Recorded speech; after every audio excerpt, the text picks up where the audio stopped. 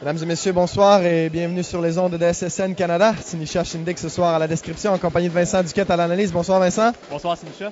Alors le match de ce soir met aux prises les GGs de l'Université d'Ottawa face aux Lakers de Nipissing. Qu'en penses-tu Vincent? Aurons-nous droit à un bon match ce soir? Ben, je pense que oui, les euh, GGs qui reviennent d'un week-end assez fructueux avec une victoire contre CMR samedi dernier et une, une défaite en fusillade contre Queens qui ont donné un, très bon match à Ottawa. Ils ont donné un très bon match ici au complexe sportif. Et les Lakers qui, selon moi, est la surprise à date euh, cette, saison puisqu'ils ont réussi à vaincre les puissants patriotes de l'UQTR. Donc, euh, ça sera un match écrasant d'ailleurs de 6 à 1. Oui, exactement. Donc, ça, va être un match. Euh, je crois que ça va être un match enlevant. Beaucoup, beaucoup de rapidité, du jeu ouvert. Et non, les partisans ici présents au complexe sportif vont droit vont avoir droit à un bon match. Alors, c'est parti, mesdames et messieurs. Nous souhaitons un excellent match euh, en notre compagnie. Alors, c'est Blain qui s'amène euh, en zone neutre. Remet du côté de Jalbert qui se porte déjà à l'attaque. Remet le tout dans le territoire de Nipissing. Ce sera Bird qui remet pour son coéquipier le long de la rampe. C'est Nipissing qui dégage son territoire jusqu'en zone centrale. Jalbert reprend possession du disque alors que Maonou est étendu par terre. L'arbitre va arrêter le jeu. C'est Maonou qui a été blessé sur la séquence. Oui, il rentrait en collision avec un adversaire. Je pense que c'était euh, Blain sur la séquence qui tentait de maintenir la rondelle en territoire adverse. Et euh, Maounou tentait de la dégager. Et finalement, je pense que Blain est tombé sur le dos de Maounou et euh, il s'est effondré sur la glace. Il, ne s'est pas encore relevé. Le soigneur est, est, là justement à ses côtés pour regarder, voir s'il va bien. Alors, ça va nous permettre de faire un retour sur la saison dernière, Vincent, alors que les deux équipes se sont affrontées deux fois. Et à chaque fois, Nipissing l'a emporté. Euh, première fois, c'était le 24 octobre. Nipissing l'avait emporté 2 à 1 ici même au complexe sportif. Et euh, six jours plus tard, Nipissing l'avait emporté 5-4 en prolongation. Oui, tout à fait. Nipissing n'a pas de mauvaise équipe. À chaque année, on, pense que Nipissing, vu que c'est pas une grosse université, ont peut-être pas nécessairement un bon programme de hockey, mais c'est tout le contraire à ce qu'on peut voir. Ils sont capables de vaincre des bonnes équipes comme l'UQTR. Puis je pense que je pense qu'une équipe comme Nipissing peut justement mêler les cartes au classement de la section euh, ontarienne des sports universitaire. C'est les GGs qui ont remporté la mise en jeu. Ce sera intercepté par le numéro 39 de Nipissing. Il va tenter de rejoindre McKinney. Ce sera intercepté par Jalbert en zone neutre. Jalbert pivote, cherche une option, décide de remettre du côté de Hood. Hood en zone centrale vers méthode qui fait simplement dévier la rondelle. Ça ira jusqu'à Blain. Blain s'amène en zone de, de Nipissing. Tente de couper vers le milieu, il sera arrêté. La rondelle ira jusqu'à la ligne bleue pour finalement revenir dans le fond du territoire de Nipissing. On tente de dégager le territoire. Ça ira jusqu'à McKinney. On s'amène à deux contre un. Ce sera avorté par Ireland. Hood, du revers jusqu'à Jalbert. Hood encaisse la mise en échec. Méthode remet Jalbert en accélération. Jalbert se contente de rejeter la rondelle et on apportera des changements des deux côtés. 18-36 à faire en première période. Toujours Ottawa en possession de la rondelle. Forster vers White. White protège sa rondelle, remet à Forster. Forster coupe vers le centre fait pivot avec un joueur à ses trousses. Et le filet sera déplacé. Le filet sera déplacé. Alors Vincent, ce que ça donne au niveau du classement, c'est qu'Ottawa présentement occupe le quatrième rang, tandis que Nipissing euh, occupe le septième. Nipissing est tout juste un point derrière Ottawa. Oui, Nipissing qui a obtenu seulement une victoire en trois matchs. Par contre, c'est une victoire quand même assez importante, comme j'ai dit plus tôt, contre les Patriotes de l'UQTR, qui connaissent euh, pour le moins un début de saison euh, en deçà des attentes puisque eux autres aussi, euh, ils affichent une fiche de une victoire et deux défaites. ils ont enfilé deux, deux cuisants revers de suite, un contre Nipissing de 6 à 1 et un contre McGill de 6 à 2. C'est toujours Ottawa qui maintient la pression en zone adverse. C'est White qui a la rondelle. Remet derrière pour son coéquipier Blondon. Blondon vers Forster. Ça ira jusqu'à White. White tente de couper au centre, ça ira jusqu'à White encore. La rondelle va se diriger dans le coin de la patinoire. Forster. Toujours Forster. Bataille avec un joueur à ses trousses. Forster toujours. Tente de tir du revers. Ça sera bloqué devant. Et ça ira aux mains des Lakers de Nipissing. C'est Moreau qui a tenté d'intercepter ce disque. Finalement, Blondin jongle avec une main. Et Nipissing va dégager le territoire d'Ottawa. Et ce sera un dégagement refusé. Alors, on reprendra le tout en zone de Nipissing. Alors, les joueurs à surveiller ce soir de chaque côté. Du côté des GGs d'Ottawa, évidemment, c'est Luc Blain qui était, enfin, qui était du tonnerre. Tout flamme. Tout fleu, tout flamme, oui, exactement. Euh, la semaine dernière, lui qui a connu euh, un fort week-end avec 4 buts et 3 passes en seulement deux matchs. D'ailleurs, une performance de 3 buts contre le Collège militaire royal. c'est lui aussi qui a inscrit le but vainqueur en prolongation. Donc, euh, Luc Blain, vraiment, là, tout feu, tout flamme pour Ottawa, là, ce début de saison. C'est Barton qui va sortir de son filet. On va tenter de dégager, ça sera réussi jusqu'à la zone centrale. C'est Wilson à la poursuite du disque avec Smith à ses trousses. C'est jusqu'au capitaine Bird qui remet jusqu'à Happney.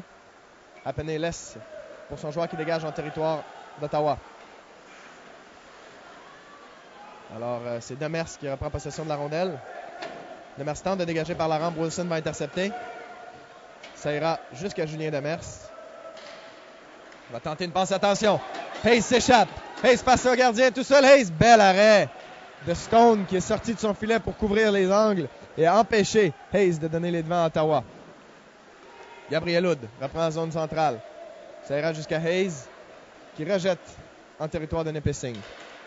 Belle passe de la part de Julien Demers en zone neutre et Hayes a réussi à s'échapper. Par contre, il a malheureusement euh, été incapable de contrôler le disque et de prendre un bon lancer sur le gardien Stone qui a bien couvert les angles et qui a fait, la- qui a fait un bel arrêt. Ce sera Gabriel Hood. Encaisse sa mise en échec de White. Mathieu Méthode remet du côté de son coéquipier Luc Blain. Blain tente une passe pour Ireland. Ça avortera. Et c'est Mathieu Méthode qui va dégager jusqu'à Stone. Stone remet pour son défenseur. Quarry. Quarry bagarre par la rondelle face à Ireland. Ireland bagarre face à Maunou et Quarry. Remet jusqu'à la ligne bleue. Hood. Hood, un tir puissant. Bel arrêt de Stone. Retour devant. Ça touche le joueur de Nipissing et ça ira jusqu'à Jalbert. Jalbert par la rampe jusqu'à Mathieu Méthode. Tenter une passe, c'est intercepté par Nipissing.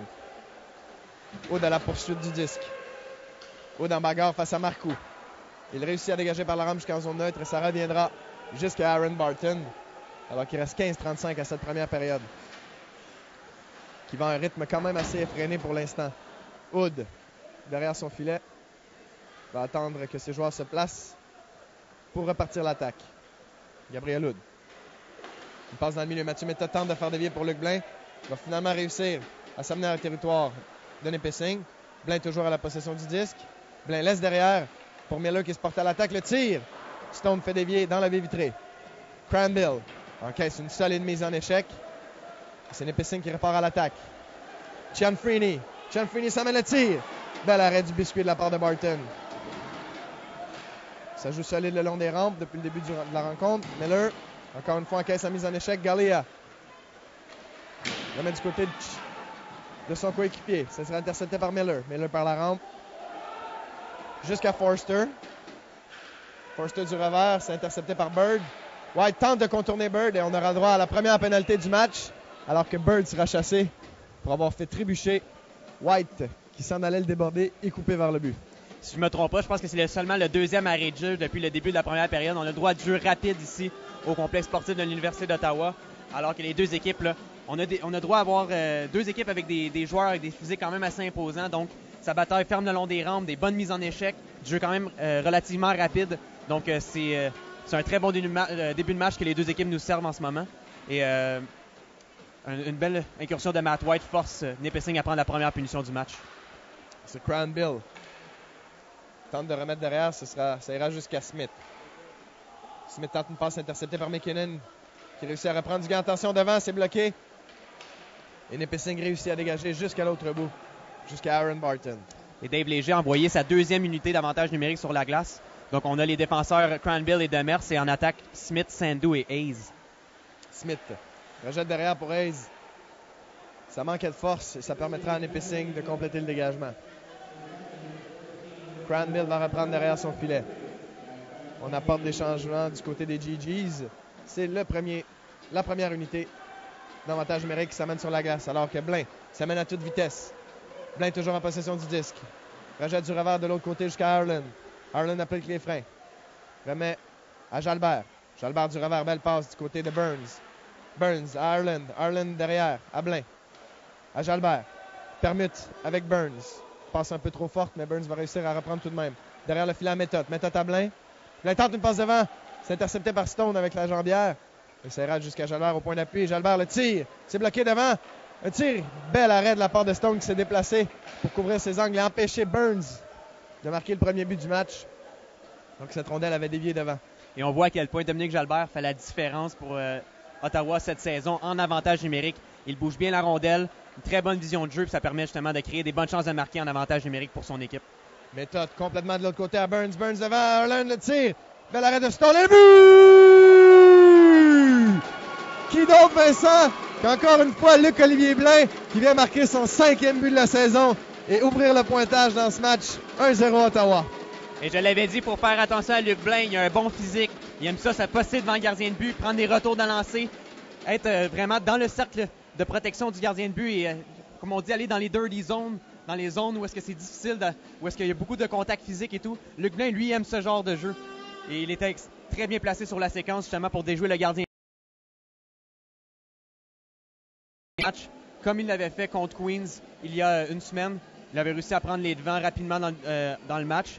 Alors, on espérons que les punitions ne viendront pas encore une fois couler le rythme d'Ottawa, parce que jusqu'à maintenant, ils dominent en soi ce match. Eux qui viennent de prendre l'avance 1 à 0. Alors effectivement, avec 13-05 à faire, Luc-Olivier Blain permet aux Gris et Grenades de s'inscrire au pointage et de prendre les devants. Alors qu'il y a discussion du côté des arbitres. Je ne sais pas, est-ce que c'est quelque chose au niveau du cadran?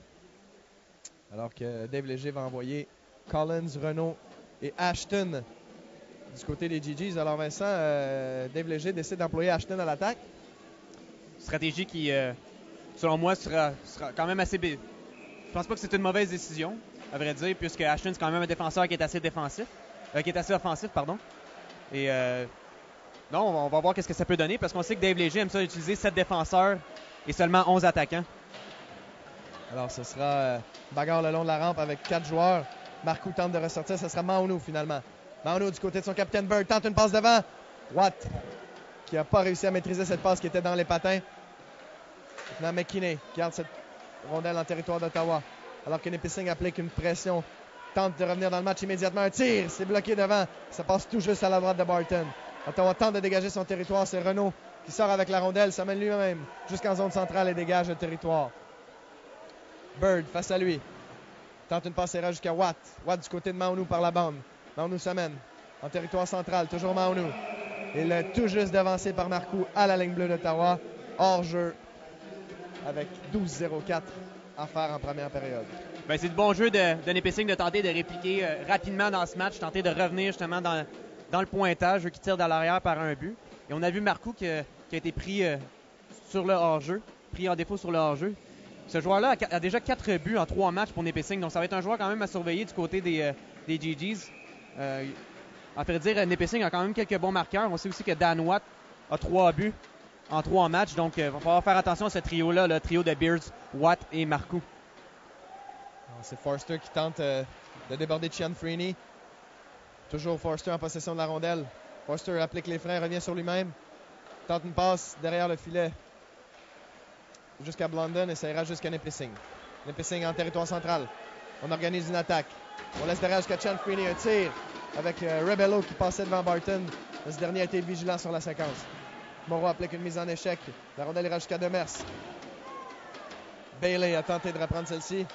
Rebello soutire la rondelle à Forster, ce qui va permettre à Nipissing de renvoyer Ottawa dans son territoire. Demers rejette par la rampe à Blondon, ça ira jusqu'en zone centrale, où Nipissing va encore une fois dégager jusque derrière Barton. Demers va tenter de calmer les ardeurs de Nipissing. Mauvaise passe de la passe de Demers, c'est intercepté à la ligne bleue. Ça ira jusqu'à McKinney, Hopewell. Hopewell par la rampe tente de rejeter jusqu'à McKinney. On bagarre Burns, White. Et finalement, c'est le joueur de Nipissing qui ressort avec la rondelle à tenter une passe jusqu'à la ligne bleue pour Gray. Ça ira jusqu'à leur gardien Stone. J'aime beaucoup la part du trio de Forster, euh, de Blondin et euh, je me souviens plus c'est qui l'autre joueur. Euh, oui, c'est ça, c'est exactement c'est White qui, apporte une bonne, une bonne pression en territoire adverse, qui est très physique ici. J'ai- J'aime bien la part de ce trio pour les GG cette année, qui a un rôle vraiment de trio défensif, de trio d'énergie. Et euh, j'aime beaucoup ce que je vois là, depuis le début de la saison. Alors, sur la dernière séquence, on a vu Barton euh, qui est sorti de son filet pour mobiliser ce disque, alors que Nipissing s'amenait à- possiblement à 2 contre 1. Donc, euh, bonne chose de la part de Barton qui va calmer, euh, le tout et va permettre à son équipe de reprendre avec une mise en jeu en territoire défensif. Alors que ce sera Maunou face à Sandu à la mise en jeu. C'est remporté par Maunou, mais c'est les GGs qui ressortent avec la rondelle. Attention à pleine vitesse, Hayes s'amène. Hayes décoche un tir. Stone fait l'arrêt. Nipissing reprend et dégage à partir de son territoire, ce qui signifie un dégagement interdit. Donc, euh, on reprendra le tout dans le territoire des Lakers. Aaron Barton est d'office ce soir euh, dans les buts d'Ottawa. On sait qu'il y a une performance assez chancelante la semaine dernière contre Queens. Il a donné 6 buts. Il a donné 2 buts aussi en tir de barrage, justement pour causer la défaite à son équipe. Mais Barton va vraiment falloir qu'il reprenne là où Riley Whitlock avait a laissé, dans le fond, son, son, règne dans les buts, puisque Ottawa a besoin d'un bon gardien de but justement pour poursuivre la, saison, pour espérer faire les séries éliminatoires. Il faut que, faut que le gardien fasse les arrêts. Et euh, Barton a le mandat de, faire ça cette saison pour Ottawa. Disons qu'il a euh, de grands patins à chausser parce que Riley Whitlock, vraiment, la saison dernière, était incroyable alors qu'Ottawa a failli prendre les devants 2-0 sur la dernière séquence. Euh, Smith a fait dévier un tir de la ligne bleue. Mais Stone a été alerte. Marcoux tente une passe devant, c'est bloqué par le patin de Hood. Jalbert dégage par la rampe. Bird se porte à l'attaque. Sandou revient sur lui-même. Tente une passe du côté de Jalbert. Celui-ci va s'installer derrière son gardien et permettre à son équipe de se réorganiser. Jalbert décide d'y aller d'une passe du côté de Sandou. Sandou déborde par la rampe, pousse la rondelle un peu trop loin, ce qui va permettre à Maonou de reprendre. Belle passe par la rampe à Watt. Watt en accélération sur le flanc gauche de l'arrêt Barton. Retour devant, attention. Barton le tire. Mêlé devant. Et l'arbitre a sifflé encore une fois euh, assez tôt. La rondelle était toujours en jeu. Mais Barton avait fait le déplacement et la rondelle n'aurait pas pu pénétrer sur la séquence. Euh, ça aurait pu être extrêmement dangereux alors qu'une rondelle sautillante devant Barton, on n'a pas réussi à dégager du côté d'Ottawa. Ouais, un très bon travail de la part de ce trio, comme j'ai dit précédemment. Le trio de euh, et de Watt va vraiment falloir les, les, surveiller de près du côté des GGs. Et on a vu une bonne séquence. Marco était seul devant le filet, a pris un bon lancer sur Barton qui a fermé la porte. Donc euh, Barton répond, répond aux critiques jusqu'à maintenant depuis le début du match. Hopewell pourchasse cette rondelle, ça ira jusqu'à McKinney. McKinney à Hopewell. Hopewell tente une passe vers McKinney, ça avortera. Blain jusqu'à méthode, on va tenter de dégager, mais Nipissing continue de presser Ottawa dans son territoire. On bagarre le long de la rampe, ça ira jusqu'à méthode. Méthode sort de son territoire, tente de déborder. Mathieu Méthode pousse la rondelle un peu loin. Finalement, le joueur de Nipissing va réussir à lui soutenir la rondelle. C'est Gray qui rejette par la rampe jusqu'à O'Donnell. Attention, ça mène. Et Hopewell a été devancé par son coéquipier, ce qui va encore une fois provoquer leur jeu à l'entrée du territoire d'Ottawa. Alors qu'il reste 8-29 à faire en première période. On manque euh, légèrement de synchronisme du côté de Nipissing. Ça fait deux fois qu'on appelle des hors-jeux. Euh, les joueurs semblent excités de rentrer dans la zone ottavienne, mais on ne peut pas traverser la ligne bleue sans que notre joueur l'ait traversé avec la rondelle. Donc, euh, du côté de Nipissing, il va falloir vraiment travailler là-dessus, être plus concentré, être plus focus justement en zone neutre pour améliorer nos poussées en zone offensive et tenter de créer des chances de marquer. Mais jusqu'à présent, Nipissing, c'est quand même pas fou ce qu'ils font en attaque. Ils dégagent les rondelles, les, les envoient profondément dans le territoire d'Ottawa. Ils s'en vont, travailler justement pour maintenir la possession de cette rondelle-là. Donc, on tente de gagner les batailles le long des rangs, mais jusqu'à maintenant, c'est Ottawa qui a le dernier mot. Alors, Chen Freeney, alors qu'il est pourchassé par White, contourne son filet, rejette du côté de McQuaid. McQuaid, belle passe du côté de Wilson. Attention, Wilson est happening, possiblement un 2 contre 1. Wilson pense qu'il était sur son revers. Il n'a pas réussi à tirer sur Barton. Ottawa s'en sort bien sur la séquence. C'est Bailey qui dégage jusqu'à Burns. Burns, par la baie tente un dégagement. C'est intercepté par le gant de Wilson. Mais Burns va reprendre la rondelle. Burns va s'installer derrière son gardien va attendre une option. C'est finalement lui-même qui va transporter le disque. Il passe en plein centre. Ce sera intercepté par les Lakers. Solide mise en échec de Matt White sur McQuaid, ce qui permettra à Ottawa de reprendre la rondelle et s'amener en territoire de Nipissing un tir. C'est bloqué devant. On s'amène. C'est Rebello. Rebello tente une feinte devant Hood qui ne mord pas. Il va réussir à remettre jusqu'à Demers. Et Blondin va compléter le dégagement, ce qui va permettre à Ottawa de compléter les changements. Bird tente une passe par la rampe du côté de Bailey. Ça reviendra à Ottawa. Attention, Simran Sandou. Simran Sandou derrière. Beau tir de Hayes qui passe tout juste au-dessus de la cage du gardien de Nipissing. Derrière le filet, toujours Sandou remet devant. Bel arrêt. Hayes sur la séquence à tirer. Bel arrêt de Stone. Hood tente de remettre une rondelle devant. Hayes a failli être seul devant le gardien, mais Nipissing réussit à dégager jusqu'en zone centrale. Rebello. Rebello à Bailey. jusqu'à Rebello. C'est Hayes qui est revenu faire un repli défensif, qui va permettre à son équipe de repartir en attaque. Simran Sandou attend des options. Remet du côté de Renault. Renault, toujours en protection de rondelle. Remet à la ligne bleue. Un tir. Stone laisse le retour devant. Sandou n'a pas réussi à profiter du retour. Lakers tente de dégager encore une fois. C'est intercepté par Miller. Miller dans le coin de la patinoire. Renault va aller pour chasser ce disque. Bailey réussit finalement à dégager jusqu'en territoire d'Ottawa. Mais le dégagement sera refusé. Alors, euh, qui défile euh, à vive allure, Vincent. Il n'y a pas beaucoup d'arrêts de jeu. Ça joue quand même intense, mais en même temps décousu. Oui, tout à fait. Le jeu se transporte de côté à côté. Aucune des deux équipes a vraiment avantage sur l'autre. On a vu Népessing avoir des, euh, des, bons moments en territoire offensif, avoir des bons moments dans le territoire d'Ottawa parce que les défenseurs avaient beaucoup de pression. là, c'est Ottawa qui met beaucoup de pression sur Népessing. Oh, alors qu'on a vu un violent tir de la part de Cranbill sur la séquence qui a touché la barre horizontale derrière Stone. Ce dernier a été chanceux sur la séquence alors que Cranbill a décoché vraiment un boulet de canon. Ottawa toujours en possession de la rondelle dans le territoire de Népessing. Blain, bataille le long de la rampe. Méthode face à Maonu. Maonu réussit à lui soutirer la rondelle et remet du côté de Watt de l'autre côté. Watt pour Marcou. Marcou tente de déborder Granville. Pousse sa rondelle un peu trop loin. Applique les freins. Beau jeu de Granville sur la séquence. Ça permet à Renault de relancer l'attaque. Attention, ça mène à 3 contre 2 du côté d'Ottawa. Ireland à Blain. Blain tente une feinte. Du revers. Blain, un tir. Stone s'était avancé pour bloquer l'angle. Et ça va permettre à son équipe de sortir de son territoire. Attention. Watt. La rondelle ressort. Il va falloir retourner jusqu'en zone défensive du côté des Lakers. Chen Freeney. O'Donnell. C'est bloqué par Renault. Gallia.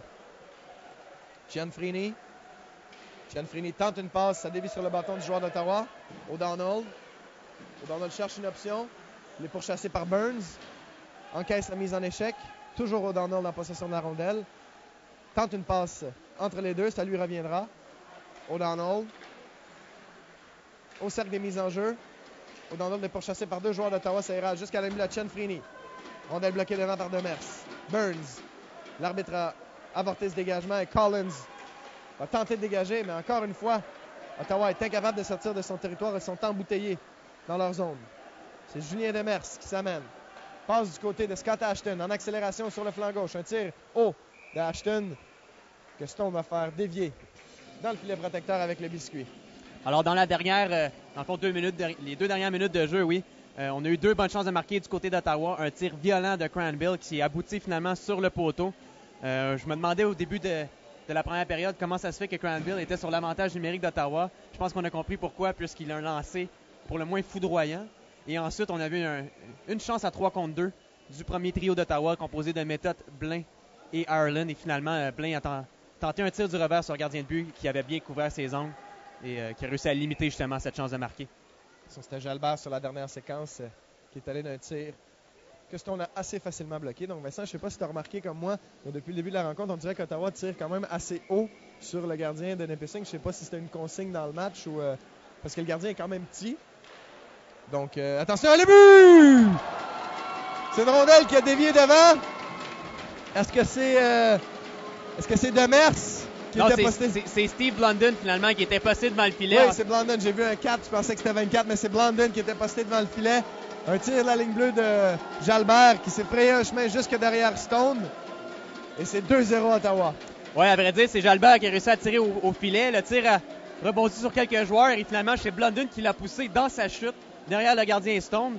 D'ailleurs, Stone est en discussion avec l'arbitre parce qu'il pense que Blondin l'aurait poussé avec son patin.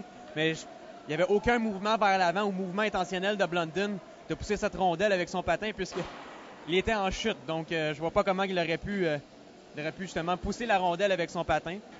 Mais je pense pas qu'on va refuser ce but-là.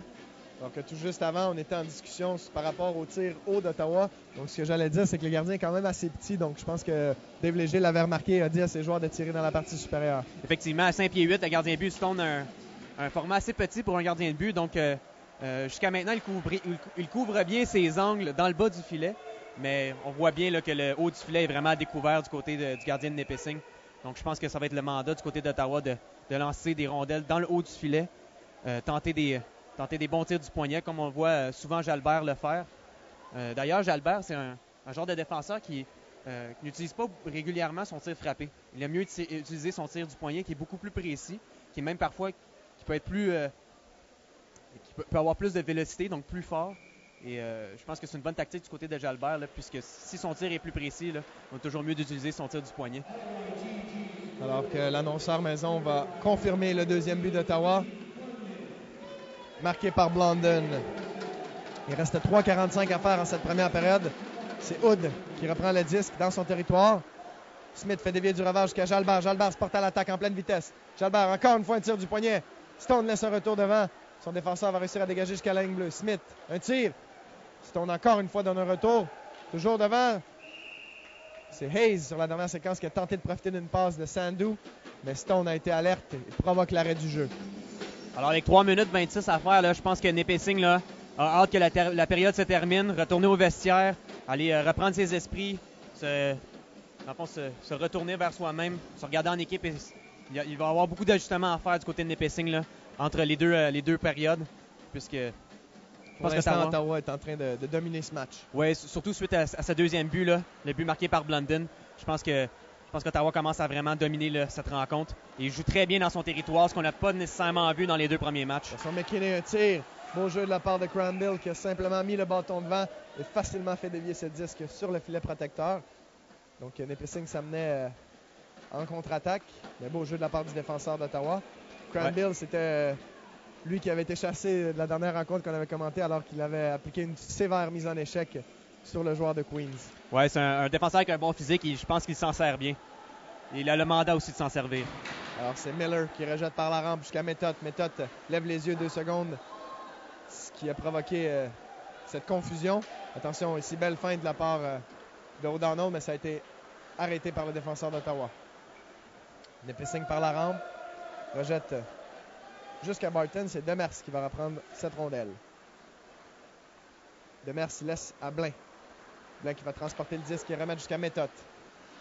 Méthode contourne Bird qui s'était compromis.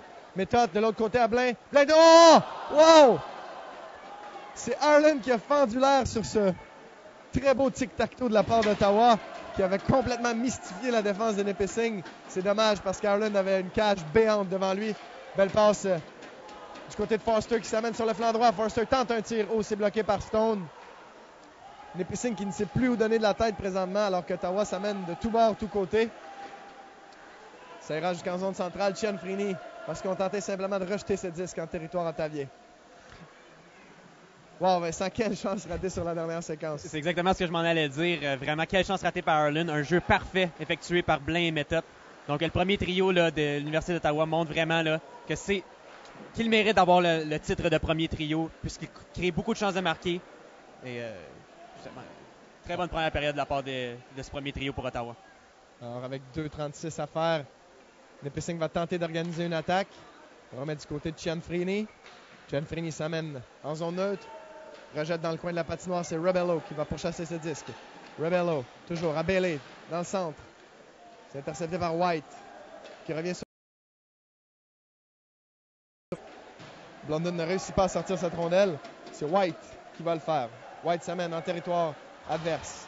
Rejette par la rampe. Népissing dégage. Et ça reviendra encore une fois à Ottawa en zone centrale. Jalbert du côté de White qui va se contenter simplement de dévier cette rondelle et va s'en aller au banc pour des changements. Hood. Tir qui a dévié sur le bâton du joueur adverse.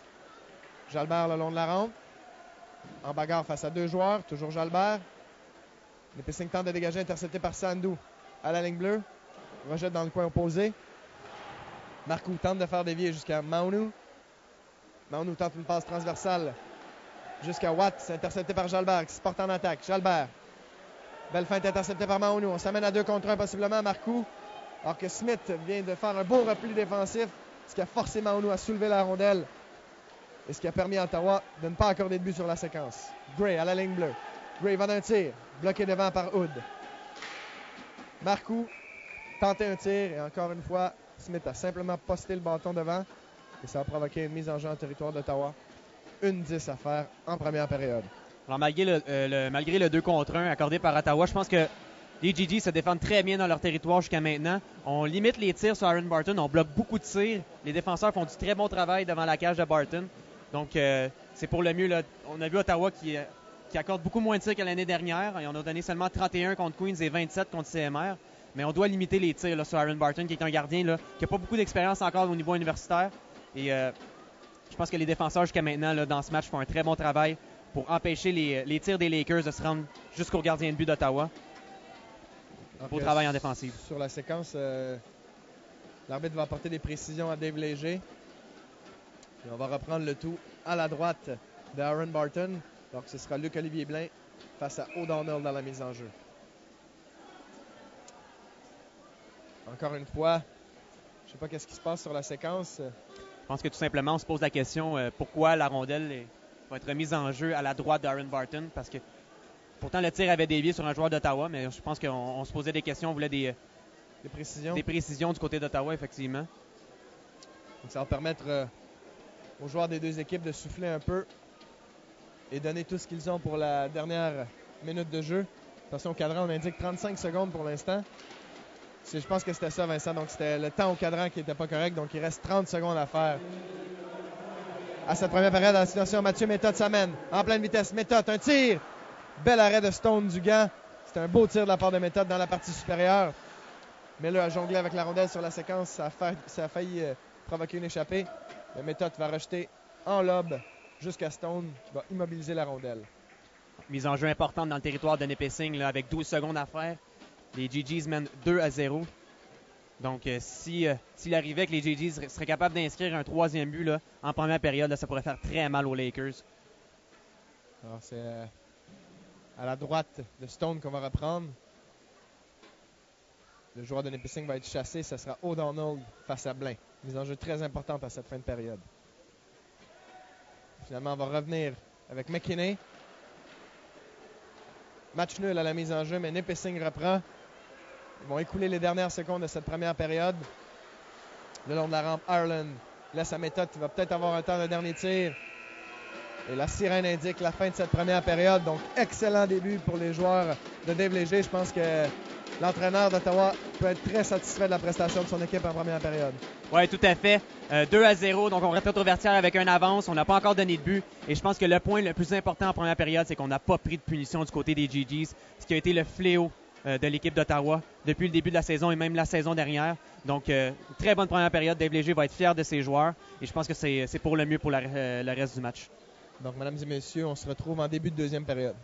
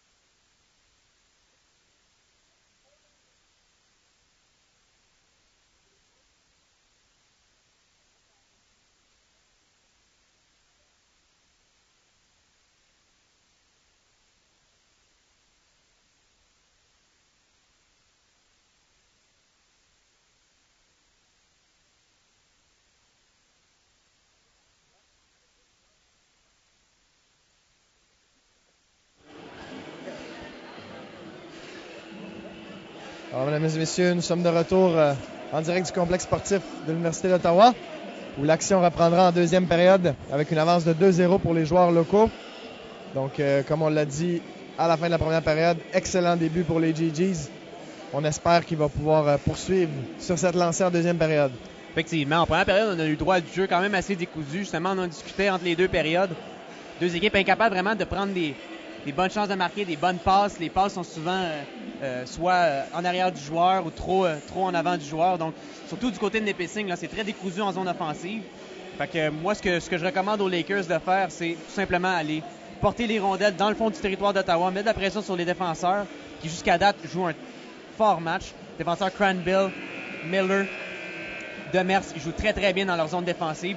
C'est, vraiment ce qu'on, demande à ce genre de défenseurs, des défenseurs plus défensifs, des défenseurs qui ont des bons physiques, qui font des, des bonnes mises en échec. Donc on, va leur demander de, jouer un, style plus défensif pour la suite du match. Alors, l'action reprend en deuxième période. C'est Gray qui se fait soutirer la rondelle par Blain. Ottawa menace dès le début de cette première période. Blain à méthode. Méthode remet du côté de Blain. On permute. C'est Gray qui va tenter de dégager. La rondelle reste collée. C'est Rush Carlin. La rondelle semble très collante euh, en ce début de deuxième période. C'est Ireland. Tente un tir. Ça ira à la droite de Stone et Nipissing va réussir à dégager jusqu'en zone centrale. C'est Watt va tenter de déborder Miller mais qui ne mord pas. Passe dans les patins de Blain qui réussit à saisir tout de même. Méthode fait dévier du côté de Forster. Forster face à Cianfrini. Cianfrini remet du revers à Maunu. Tente de dégager.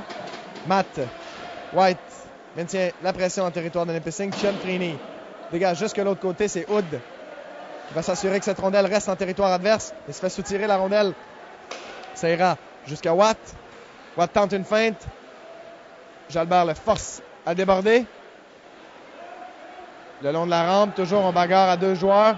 C'est Jalbert qui va ressortir avec cette rondelle. Passe du côté de Blondin. Blondin passe à White. White sur le flanc gauche, le tir. Et le but! Matt White qui a trouvé une ouverture entre les jambières de Stone. Et c'est 3-0 Ottawa. J'adore le jeu de Matt White depuis le début de la saison. Il a une très bonne vitesse et il, vraiment, il l'utilise à son avantage. Il n'a pas vraiment un gros physique. Par contre, il est très très fort en avantage numérique, en désavantage numérique.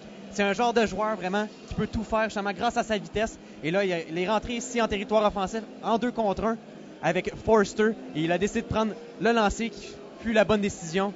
Un bon tir de Matt White qui a trompé la vigilance, euh, du gardien Stone. Et c'est 3-0 pour Ottawa qui prend rapidement les, les devants vers trois buts en début de deuxième période. Donc, euh, encore une fois, félicitations à Matt White qui connaît un très très bon début de saison. Lui qui est une recrue au niveau universitaire canadien cette année. Alors, euh, Hayes, immédiatement après cette mise en jeu, il va d'un tir que Billy Stone immobilise. Donc, si à la maison on se demande est-ce que Nipissing serait tenté de procéder à un changement de gardien, ce ne sera pas possible, car Nipissing s'est emmené ici au complexe sportif avec un seul gardien. C'est la première fois que je vois ça dans le monde du hockey. C'est quand même assez dangereux, Vincent. Ouais, c'est très rare qu'on voit ça. Euh, à vrai dire, s'il arrive quelque chose à Stone, Stone se blesse, Nipissing est vraiment dans le trouble. Il va falloir qu'ils habillent un de leurs joueurs comme gardien de but. Et je pense pas que, que ça serait une option vraiment envisageable pour Nipissing. Donc, on, on souhaite pour les Lakers que Stone reste en santé pour ce match. C'est Garlia qui tente de rejeter euh, en zone d'Ottawa. Ce sera intercepté en zone neutre. Il va forcer Garlia à revenir jusque derrière son gardien. Ça ira à Hopewell. Hopewell n'a pas d'option, donc lui également décide de revenir derrière Stone. Smith va y aller d'un échec avant. Ça va aller à Bird, le capitaine des Lakers. Bird transporte le disque, laisse derrière. C'est bloqué par les GGs. Et on reprend l'attaque. C'était une passe de Collins qui va avorter. Ça ira jusqu'à Nipissing qui tente une attaque. C'est McKinney sur le flanc gauche. C'est bloqué par Demers. Rondelle sautillante. Ashton rejette du revers pour Renault. C'était un peu trop loin et hors de sa portée. Nipissing par la bande jusqu'à Burns en territoire d'Ottawa. Burns à Ashton en zone centrale. Qui revient dans son territoire pour chasser par Bailey. Décide une passe vers Collins qui rejette en lobe jusqu'à Stone qui va être forcé de provoquer l'arrêt du jeu alors qu'il y a déjà presque trois minutes d'écoulées en deuxième période. Ouais, du beau travail de la part du quatrième trio des GGs. On a vu sur la glace Jamie Collins. C'est un joueur qui était avec l'équipe l'année dernière, mais on n'a pas beaucoup vu parce qu'il a été plus souvent blessé qu'à son tour, malheureusement pour lui. Mais là, finalement, euh, Dave Léger a décidé de le réintégrer dans la formation. Je pense que c'est son premier match cette saison. Il remplace euh, Lucas Bini, si je ne me trompe pas, le joueur français. Donc, euh, Jamie Collins qui fait son entrée dans la formation des GG ce soir pour la saison 2010-2011. C'est Matt Method en zone centrale. Rejette jusqu'à Darren Miller. Miller il va d'un tir de loin. Va passer à la gauche de Stone. C'est Quarry qui rejette vers McKinnon. Ira jusqu'à Bailey le long de la rampe. Méthode soutire la rondelle. Attention, méthode. Contourne le filet. Tente d'enfiler l'aiguille. Ce sera raté. Et Nipissing reprend la rondelle. On s'amène en territoire d'Ottawa. Rebello est attendu par une solide mise en échec de Miller. Joueur de Galia dans le coin. Bailey plutôt. Bailey face à face à Blain, pardon. C'est Blain qui reprend cette rondelle et rejette du côté de Méthode qui s'amène en accélération sur le flanc gauche. Méthode, il va d'un tir. Stone laisse le retour devant. Stone jongle toujours avec la rondelle. Méthode rejette jusqu'à Jalbert qui va d'un puissant tir et bel arrêt de Stone avec la mitaine qui avait euh, la vue passablement obstruée. Donc, bel arrêt de la part de Stone sur la séquence. Et encore une fois, les GGs qui appliquent une belle pression dans le territoire de l'Epicing, ce qui force ces derniers à être complètement déconcertés dans leur territoire. Et cette pression a été vraiment euh, a vraiment commencé dans le territoire défensif des GGs, alors que Luc Blain, qui fait du travail incroyable dans son territoire, a bloqué un lancer, a même euh, n'hésite pas à aller jusque dans le fond du territoire pour justement reprendre des rondelles libres. Donc du beau travail, autant offensivement que défensivement pour Luc Blain, qui fait vraiment là, euh, un travail colossal pour les GGs à sa première saison. Attention, ça mène à deux contre un. Un tir, ça passe à la droite de Barton. C'était Happening qui décoché un tir violent, mais qui a tout juste raté la cible. Jalbert face à McQuaid. Jalbert Bagarre réussit à rejeter du côté de Collins et il aura pénalité sur la séquence. Le joueur de Nipissing sera chassé. C'est Happening qui se dirige immédiatement vers le banc. Il sait qu'il a été coupable sur la séquence, donc on aura droit à un deuxième avantage numérique dans ce match pour la troupe d'Ottawa. Ouais, c'est Collins qui tentait tout simplement de sortir la rondelle de son territoire et Happening qui voulait justement maintenir cette rondelle dans le territoire offensif s'est vu être pris en défaut pour avoir fait trébucher Jamie Collins. Donc, avantage numérique pour Ottawa. Un deuxième avantage numérique ce soir. Je pense qu'ils avaient marqué à leur premier. Oui, tout à fait. Premier but du match a été marqué en avantage numérique. Alors, c'est Cranbill à la ligne bleue. Cranbill va d'un tir. Mauvaise décision. C'est bloqué devant. Ça va permettre aux Lakers de dégager leur territoire. Demers par la rampe jusqu'à Sean Smith. Smith prend de la vitesse. Rejette du côté de Hayes. Hayes entre en territoire offensif, applique les freins, rejette par la rampe jusqu'à Smith, bagarre face à Bird. Sandu vient lui prêter main forte derrière le filet. Simran Sandu tente une passe du revers vers Smith. Galia a bien lu le jeu. Sandu à Demers. Beau jeu de Demers à la ligne bleue qui veut vraiment à Cranbill de remettre jusqu'à Hayes qui remet à Cranbill. Demers, un tir. Trafic devant, attention. Et Stone a été vigilant et a réussi à immobiliser ce disque entre ses jambières. Mais beau jeu de la part d'Ottawa qui a passablement déplacé le bloc défensif de Nipissing, ce qui a permis de créer une ouverture et à Julien Demers d'y aller d'un bon tir envers le gardien de Nipissing. Ce qui est incroyable avec Julien Demers, c'est à quel point il est calme avec la rondelle. Il prend des bonnes décisions. Euh, il n'hésite pas justement à faire des petites feintes pour déjouer l'adversaire, fait des belles passes. Et on a vu qu'il a pris un très bon tir sur le gardien. la, rondelle s'est frayé un chemin jusqu'au gardien Stone qui a réussi à maintenir la rondelle entre ses jambières. Méthode à Jalbert. Rondelle sautillante. Jalbert retourne à méthode. Du haut des cercles de mise en jeu. Ireland à méthode. Méthode, il va un tir. Oh! Ça touche la barre horizontale et ça ressort. Violent tir du poignet de la part de Matt Méthode qui a failli être le quatrième but d'Ottawa. Mais on poursuit l'attaque. C'est une rondelle qui dévie devant. Stone fait dévier dans le coin. Et finalement, McQuaid réussit à dégager jusqu'en territoire d'Ottawa. Donc Mathieu Méthode qui est allé d'un tir très violent dans la partie supérieure et qui malheureusement pour lui n'a pas réussi à pénétrer le filet. Le long de la rampe, Jalbert empêche ce disque de sortir. Toujours Jalbert face à Rebello. On remet du côté de Burns. Burns permute avec Jalbert. Jalbert le tire. C'est bloqué par le patin de Chianfrini. Ça ira à Blain, à Jalbert. Jalbert pourchassé par le joueur de Nipissing qui a été à la limite de la légalité là-dessus. Méthode à Blain. On tente de se créer une ouverture. Burns a tiré le but! Un tir de la ligne bleue de Burns qui a dévié sur un joueur devant le filet et qui trompe la vigilance de Stone. pour un quatrième but d'Ottawa. Donc c'est 4 à 0 avec 13-33 à faire en deuxième période.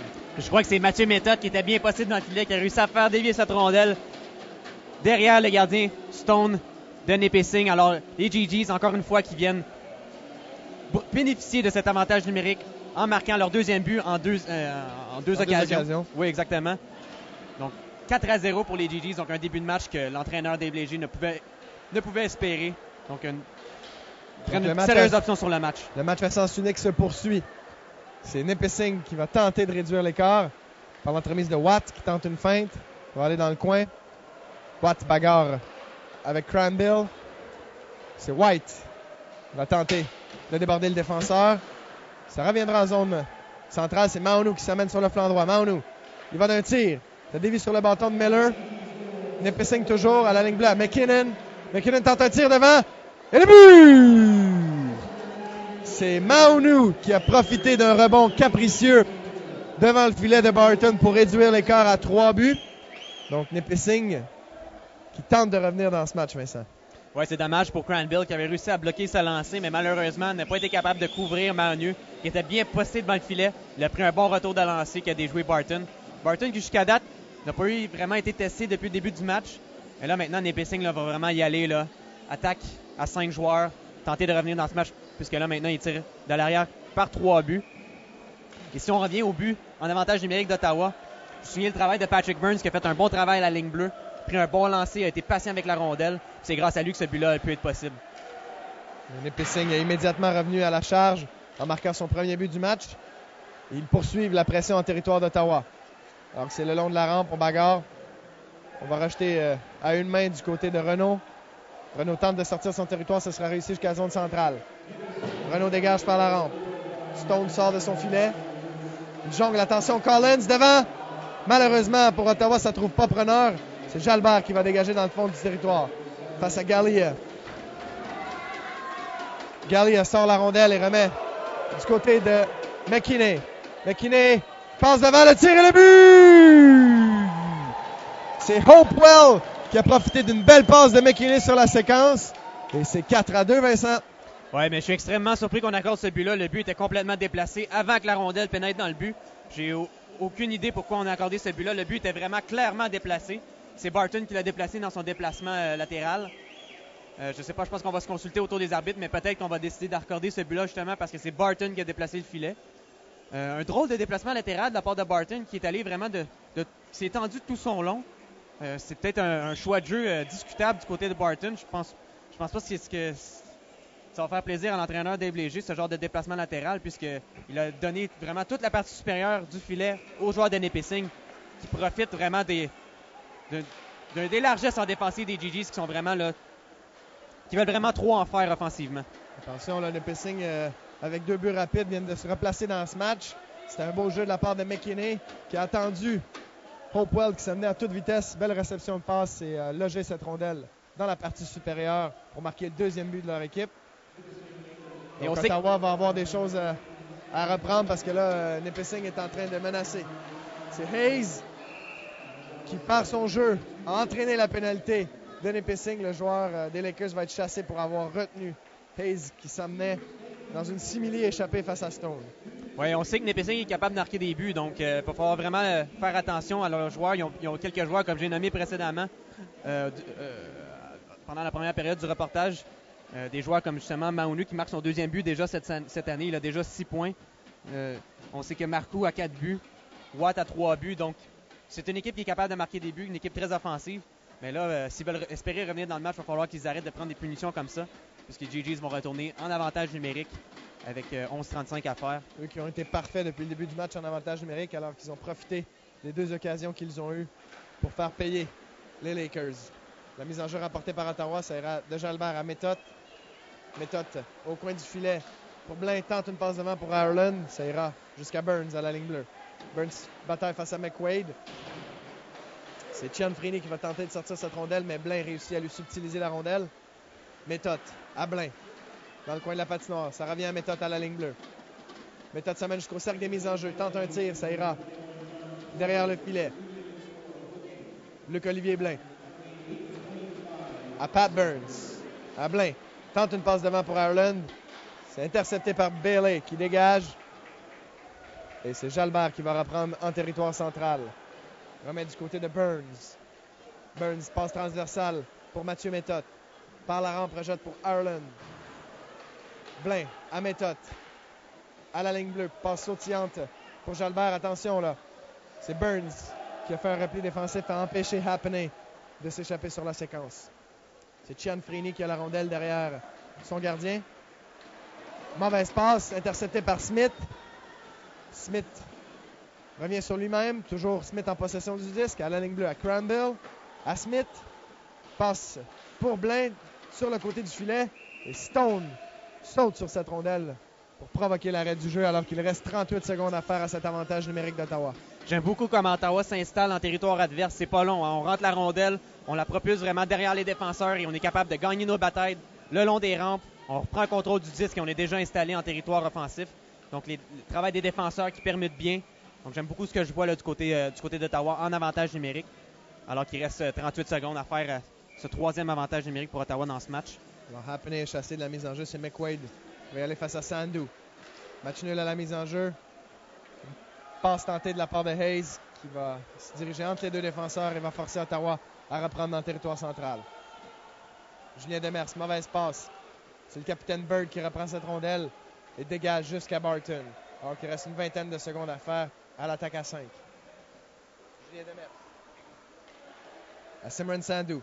Tente de déborder le joueur. Toujours Sandou. Bird ne mord pas. Et dégage jusqu'à Julien Demers. Passe. Intercepté par Nipissing. McWade s'amène à 1 contre 3.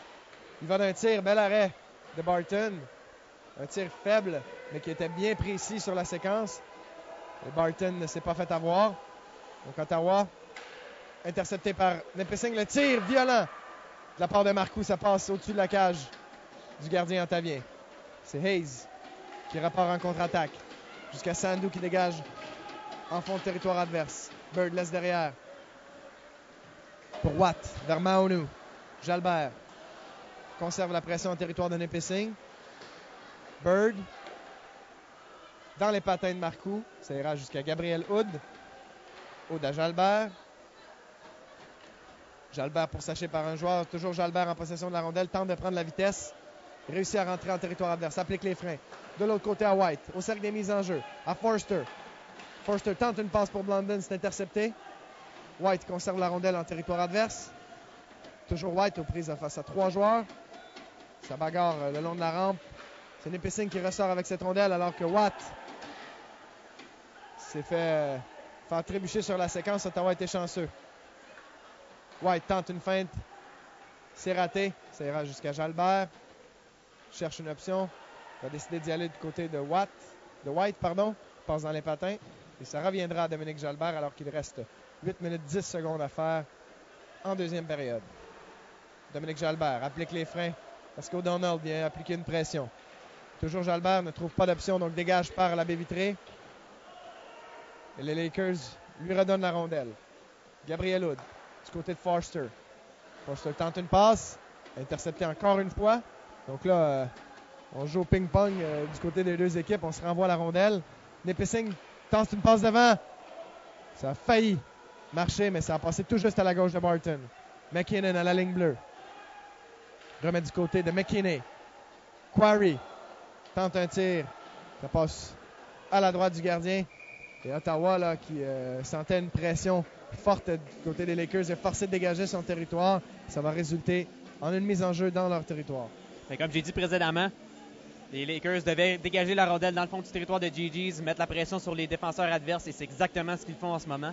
Et là, les GG's se sentaient un peu euh, renfloués dans son territoire il était forcé justement de causer un dégagement qui a été refusé. Mais un beau travail, un beau retour dans ce match de Nipissing qui ont vraiment apporté des bons ajustements entre la première et la deuxième période. Méthode. Tente une passe du côté d'Ireland, ça ira jusqu'à Blain. Blain, un tir dans le masque de Stone qui réussit à faire l'arrêt et provoquer la mise en jeu. Ce serait intéressant de voir les statistiques à la fin du match, là, de voir les lancer parce que Stone a été vraiment bombardé là, depuis le début de ce match. Malgré le fait qu'il a donné 4 buts, je pense qu'il fait du bon travail là, devant la gage des Lakers. Lui qui n'a pas vraiment un bon physique, un gros physique de gardien de but, contrairement, je dirais, à Barton et Harrison May, les deux gardiens d'Ottawa. Mais il fait du bon travail jusqu'à maintenant dans ce match qui limite les chances d'Ottawa puisque le pointage pourrait vraiment être plus élevé que ça. C'est Happening encore une fois qui a été chassé de la mise en jeu. C'est McQuaid qui est venu le remplacer, qui a remporté la mise en jeu, mais Ottawa subtilise la rondelle à son adversaire. C'est Blain, le long de la rampe. Toujours Blain. Il se fait intercepter par Frini. Gray, du revers pour Happening, passe dans les patins qui permettra à Blain de conserver la pression en territoire adverse. Frini. Beau jeu de la part euh, du joueur de Nipissing qui est rejeté par la rampe. Et il y a hors-jeu à retardement, donc ce qui va forcer Nipissing à sortir du territoire d'Ottawa. Ça permettra à Cranbill de se porter à l'attaque. Cranbill face à Cianfrini. Cianfrini laisse derrière pour son coéquipier. On va aller une passe du côté de McQuaid. McQuaid a un tir de loin que Barton fait facilement dévier à sa gauche. Et c'est Cranbill qui jongle un peu avec cette rondelle. Mauvaise passe euh, du côté de Burns qui est pressé par deux joueurs de Nipissing. Beau jeu ici. Bel arrêt de Barton sur Watt sur la séquence qui a coupé devant le filet, a berné le joueur d'Ottawa. Il est allé d'un bon tir, mais Aaron Barton a fait l'arrêt. Bel arrêt de la part d'Aaron Barton, mais c'est Patrick Burns qui s'est vraiment fait prendre dans son propre territoire. Euh, a tenté une passe à contre-courant qui a été euh, interceptée par un joueur des Lakers. Et finalement, c'est Watt qui a pris une bonne chance devant le filet, déjoué de deux défenseurs des GGs, dont, euh, dont Mathieu Méthode aussi, qui effectue un repli défensif. C'est jeté tout son long, mais ça a vraiment été une belle fin de la part de Watt qui a pris un bon tir sur Barton qui a fermé la porte. Donc, euh, Barton a été testé deux ou trois fois. Il a cédé, il a cédé sur deux, de ses chances, mais jusqu'à maintenant, je pense qu'il fait un bon travail, là, donné seulement deux buts aux Lakers. Justement, Barton qui est sorti de son filet pour aider ses défenseurs. Sandu du côté de Smith. Smith euh, sur le flanc gauche, applique les freins, tente une passe de Sandu devant. Il a été bloqué par le joueur de Nipissing. Bird sort de son territoire et remet du côté de Watt. Watt tente une passe pour Bird. C'est intercepté par Sean Smith qui fait un repli défensif. Smith par la rampe du côté de Hayes. C'est trop fort. Et les trois joueurs étaient en fin de séquence, donc on va procéder à des changements du côté d'Ottawa. Hopewell fait dévier derrière Demers. Demers va se poster derrière son gardien. Il va attendre l'avenue de ses coéquipiers pour réorganiser l'attaque. Jalbert. Du côté de Blondin, c'est intercepté par Nipissing. Hopewell tente une feinte, beau jeu de la part de Demers, qui reprend la rondelle et s'amène en attaque. Demers, un tir. McKinnon a fait dévier cette rondelle dans le filet protecteur et il y aura mise en jeu à la droite de Billy Stone avec 5-0-6 à faire en deuxième période. Là, depuis le but, là, deuxième but des Lakers, on a, on assiste à jeu assez, euh, assez décousu en fin de deuxième période. On s'échange beaucoup la possession de la rondelle, les passes sont pas précises euh, de, chaque côté vraiment. Je pense que le prochain but, l'équipe qui marquera le prochain but va vraiment prendre le rythme dans ce match.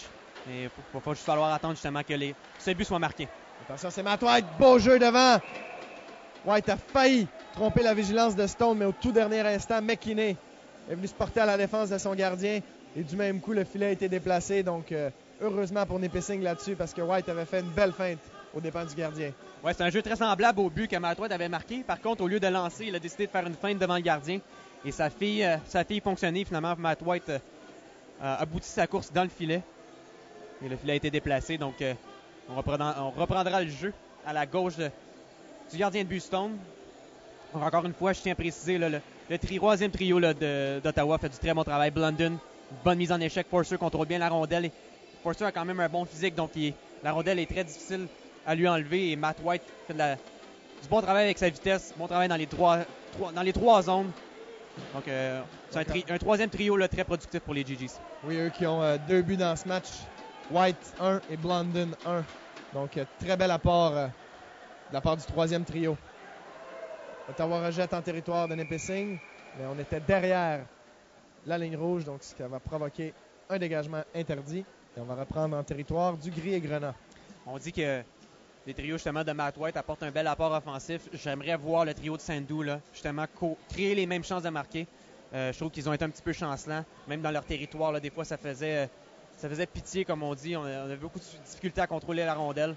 Donc, il va vraiment falloir travailler là-dessus là, sur le deuxième trio euh, d'Ottawa, lequel on, s'attend vraiment de belles choses avec des, bons joueurs offensifs comme Sandou, Hayes et, euh, Smith. C'est Blain qui rejette du revers jusqu'à Hood qui attend une option.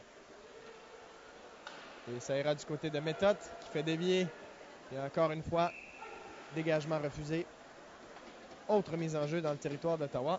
14-16 à faire en deuxième période. Donc, euh, c'est le trio de Mathieu Méthode, Ireland et Blain qui s'amène dans la mêlée.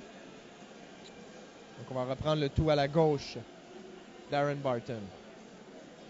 Pourquoi ces deux dégagements refusés? Ben, c'est tout simplement que Nipissing bloque bien la zone nerd jusqu'à maintenant et euh, les GG sont vraiment incapables de sortir de leur territoire. Donc, encore une fois, on a la preuve sur la séquence. Alors que euh, Ottawa tente d'organiser une attaque, mais ça va avorter. Ça reviendra aux mains de Nipissing. C'est Frini qui applique les freins devant Blain et réussit à dégager par la rampe jusqu'à Cranville qui rejette l'adversaire chez eux. Frini. Frini coupe devant le filet. Remet du côté de Maunu. Maunu rejette en lobe. Ça ira jusqu'à Barton. Il va provoquer l'arrêt du jeu. Et encore une fois, on aura droit à une mise en jeu dans le territoire des joueurs d'Ottawa. Une autre mise en jeu importante là, pour euh, ça va être probablement Sandu qui prendra cette mise en jeu. Et on verra du côté des Lakers leur, premier trio. Le trio de Maonu, Marcou. Et Watt. Et Watt, exactement. Et Marcou s'est placé même un petit peu en haut du cercle des mises en jeu, donc euh, pour pouvoir justement prendre un éventuel passe de, de si Mandou réussit justement à gagner cette mise en jeu. Euh, on a vu sur la séquence Sandu qui a été chassé de la mise en jeu chez Sean Smith qui va la prendre. Smith fait du bon boulot. Il force Maunu à aller euh, en fond de territoire plutôt que d'y aller d'un tir de Marcou. Donc rejette à Marcou en zone des mises en jeu. Bel arrêt de Barton. Nipissing garde la pression en territoire d'Ottawa. Il y aura pénalité à retardement. Et l'arbitre signale justement cette pénalité. Il y a eu obstruction sur la séquence. Donc les GGs sont chassés pour la première fois durant le match. Ce qu'on n'a pas vu souvent, là, une pénalité justement en fin de deuxième période la première pénalité du match pour Ottawa. Donc, euh, c'est un point positif jusqu'à maintenant. Une pénalité d'obstruction à Darren Miller qui est allé peut-être un peu fort face à son adversaire devant le filet. Là, il va falloir faire attention parce qu'avec 3 minutes 16 à faire euh, en deuxième période, je pense pas que Dave Léger veut accorder un troisième but à Nipissing, ce qui leur permettrait vraiment de revenir dans ce match. Donc, euh, sur la séquence, on va reprendre le tout. C'est Watt à la mise en jeu face à White. Plutôt Marco va prendre cette mise en jeu. Oui, pardon. Je suis pas surpris que Dave Léger emploie Matt White euh, en désavantage numérique, lui qui connaît un fort match jusqu'à maintenant. Vraiment, dans les trois zones, il fait du très bon travail. Même s'il a un un, énorme physique, je trouve qu'il s'en sert bien, il sert bien de sa, rapidité. Donc, c'est un joueur vraiment parfait pour ce genre de situation. Donc, euh, pour une autre fois dans ce match, euh, il y a confusion au sein des arbitres. Je pense que c'est encore une fois du côté du cadran qu'il y avait un problème. Le tout vient d'être réglé et on va pouvoir reprendre à la droite Darren Barton. Mise en jeu remportée par Ottawa. On va tenter un dégagement. Birds porte à l'attaque pour empêcher cette rondelle de sortir. Et Julien Demers, via la baie vitrée, réussit à rejeter Nipissing dans son territoire. Bird face à Hayes est forcé de revenir sur lui-même. Toujours Bird. Passe du côté de Maunu. Maunu passe transversale du côté de Watt. Watt tente une petite passe entre deux défenseurs. Ça ne réussira pas et ça va le forcer à revenir du côté de Bird de l'autre côté. Nipissing tente d'installer une attaque. Bird à Cianfrini, à Watt. Permute avec Maunu qui lui laisse la rondelle. Watt tente une passe devant. On dégage dans le coin. C'est Watt. Une rondelle qui va dévier sur le bâton de Demers pour se diriger chez les spectateurs. Donc, 1 euh, minute 10 à faire à l'avantage numérique des Lakers. Beau travail de la part des quatre joueurs délégués par Dave Léger là, sur la patinoire. On parle de Hayes, White, Demers et Hood qui étaient là. Euh, beau travail, justement. Ils ont réussi à maintenir la rondelle justement sur les extrémités, sur le périmètre. Les Lakers n'ont pas été capables justement de traverser le, le carré des GGs. Donc du bon travail jusqu'à maintenant là, pour euh, le désavantage numérique d'Ottawa qui, qui, a eu beaucoup de difficultés euh, lors du premier match ici au complexe sportif face à Queens. Je pense qu'il avait accordé quatre buts aux, aux Gales en, désavantage numérique. Ouais. Du côté de Gray. Ça reviendra à Gray. McKinnon, un tir, passe à la gauche d'Aaron Barton et ça reviendra à la ligne bleue. Gray à McKinnon. Rondelle sautillante qui a failli sortir du territoire. Gabriel reprend cette rondelle et rejette jusqu'à l'autre bout. On va compléter les changements du côté de Léger qui va amener Ireland et Demers sur la, sur la patinoire en compagnie de Blain et Cranbill. Dégagement de Demers jusque derrière Stone. Et c'est Gray qui va relancer l'attaque des Lakers. Gray du côté de Hopewell. Hopewell par la baie vitrée. Rondelle euh, qui a dévié et qui est sorti de la patinoire. Donc, euh, il va avoir mise en jeu à l'extérieur du territoire d'Ottawa. Et on sait à quel point Gabriel Hood est important pour l'équipe des GGs. Euh, un fait quand même assez remarquable que j'ai noté là, justement, c'est le seul défenseur du club à être droitier. Donc c'est un gros avantage justement pour jouer à droite en désavantage numérique, pour limiter les joueurs, pour empêcher les joueurs de couper vers le centre. ça prend un défenseur droitier pour jouer à droite. Donc Gabriel Houd remplit vraiment sa tâche à merveille. Attention, là, c'est Blain qui s'amène face à trois joueurs. Blain a tenté de couper devant. Un beau jeu de sa part qui va tout de même euh, forcer Stone à provoquer l'arrêt du jeu. Et ça va permettre à Ottawa de bénéficier d'une mise en jeu dans le territoire de Nipissing. Alors qu'ils ont écoulé cette pénalité. Donc c'est une bonne chose, une bonne mission accomplie pour euh, la troupe de Dave Léger. Il va tenter d'écouler la dernière minute et 13 à faire en deuxième période sans accorder un troisième but à Nipissing. Donc c'est méthode. Passe du revers, c'est jusqu'à Hood à la ligne bleue. Hood, un tir du poignet, ça revient devant le filet. Nipissing dégage. Va forcer Barton à sortir de son filet. Barton du côté de Hood. Alors qu'on annonce la dernière minute de jeu en deuxième période. Méthode se contente de rejeter dans le territoire adverse. Arlen passe intercepté par Maunu. Marcou fait dévier jusqu'à Barton. Barton par la rampe. Ça va être intercepté par Bird. Hood rejette. C'est Watt cette fois-ci qui s'amène en attaque. Watt tente de couper devant le filet. On va aller dans le coin de la patinoire. Toujours Watt. Permet avec Marcou. Laisse derrière lui à Maunu. Intercepté par Jalbert. Jalbert se porte à l'attaque du côté de Méthode. Attention, deux contre un. Matt Méthode applique les freins du côté de Jalbert tout seul. Arlen reprend derrière. Bel arrêt de Stone. Blain. Bon jeu de Stone qui a empêché Blain de remettre la rondelle devant. Alors qu'il reste 9 secondes à faire, c'est Hood qui va profiter d'une passe euh, du côté de Blain. Quelques secondes à faire. Ottawa ne réussira pas à y aller d'un dernier tir. Ouf, ça aurait pu euh, être bénéfique pour Ottawa sur la dernière séquence alors que les coéquipiers de Nipissing vont pouvoir dire merci à Billy Stone qui a fait deux beaux arrêts sur la dernière séquence. Effectivement, c'est une très bonne façon de terminer une période. Ça va leur donner du rythme, du momentum justement pour arriver en troisième période et euh, justement gagner de ce momentum-là. Donc, euh, encore une fois, une bonne période d'Ottawa qui a tout de même concédé deux buts. Mais, euh, Ils ont bien commencé la période avec deux buts rapides. Ils ont pris les devants 4-0. Mais on laissé Nipissing revenir dans le match. donc à 4-2, on va avoir droit à une belle troisième période. Tout à fait. Puis c'est pour le mieux si on a la chance d'avoir un match justement pour ici les partisans qui sont présents au complexe sportif.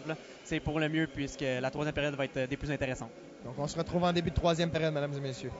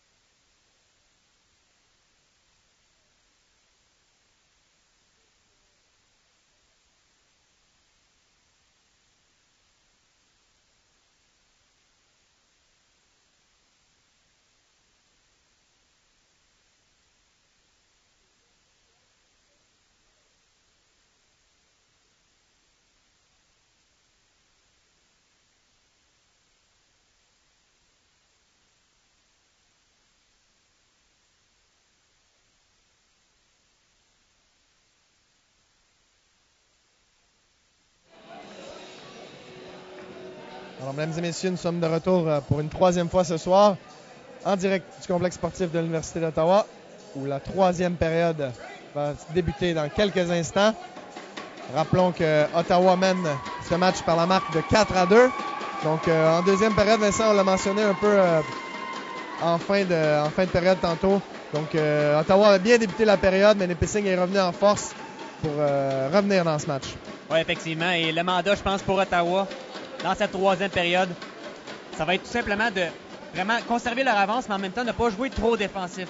Parce que si on est trop sur, la défensive, on ne produira rien en attaque et ça va don- donner plus de chances à Nipissing justement de revenir dans le match. Donc moi, ce que je veux voir, c'est de- des bons échecs avant de la part d'Ottawa, mettre beaucoup de pression sur les défenseurs adverses qui sont vraiment nonchalants du côté de, de puis continuer justement cette belle agressivité qu'on a, qu'on a ce soir, et continuer d'aller marquer des buts, tenter des, des chances de marquer face au gardien Stone, qui, euh, qui a donné quand même 4 buts ce soir, donc euh, il n'est pas infaillible. On, est capable de battre du côté d'Ottawa, donc euh, c'est le mandat là, que, j'envoie aux GGs. Sinon, du côté des Lakers de Nipissing, c'est vraiment là, on se propulse tout le monde en attaque et on, tente de créer des chances de marquer. On met des, gros joueurs, nos gros joueurs devant le filet de Barton. Et euh, je m'entends d'égaliser le pointage. il reste 20 minutes là, et avec deux buts de retard euh, pour Nipissing. Donc, on y va euh, force contre force en ce début de troisième période, alors que les deux entraîneurs envoient dans la mêlée leur premier trio. Donc, c'est Blain en territoire central. Luc Olivier Blain s'amène dans le territoire de Nipissing. Tente de déborder le défenseur. Gianfrini ne mord pas. Et euh, il remet la rondelle derrière le filet. Attention. C'est Matt Method. Tente de couper devant. Jalbert se porte à l'attaque face à deux joueurs de Nipissing. Toujours Jalbert laisse pour Blain derrière le filet à méthode. Méthode à Hood au cercle des mises en jeu. Tir bloqué devant. Ça permettra aux Lakers de dégager jusqu'en territoire central. Marco fait dévier. Jalbert a été surpris par un mauvais bond. Watt. Tir bloqué devant. Attention, bel arrêt de Barton sur la séquence. Marco encore une fois Barton qui ferme la porte. Et Ottawa dégage son territoire. Ça ne sera pas refusé puisque ça a dévié. C'est Bird qui va relancer l'attaque des visiteurs. Bird s'amène en territoire d'Ottawa. Il est arrêté à la ligne bleue par Forster. Il tentait de rejoindre Blondon. C'est finalement Cranbill qui se porte à l'attaque. Cranbill, un tir. Bloqué par Bird. Toujours Cranbill. On laisse derrière Forster le tir. Ça dévie à l'extérieur du poteau. Et sur la séquence, euh, Forster a été blessé. Il se relève péniblement. Alors que Nipissing poursuit l'attaque, Forster va tenter de faire un repli défensif. Cranbill rejoint Forster justement. Forster rejette en territoire, en fond de territoire adverse. C'est Blondin qui va pourchasser ce disque. Dans le coin de la patinoire, on bagarre à trois joueurs. O'Donnell remet du côté de McKinney. McKinney laisse derrière lui. Tir croisé. Bel arrêt de Barton. Encore un tir, bel arrêt de Barton sur la séquence. Hopewell a fait dévier un tir de O'Donnell. Et Barton a été très vigilant sur la séquence. Bel arrêt de la part du gardien d'Ottawa.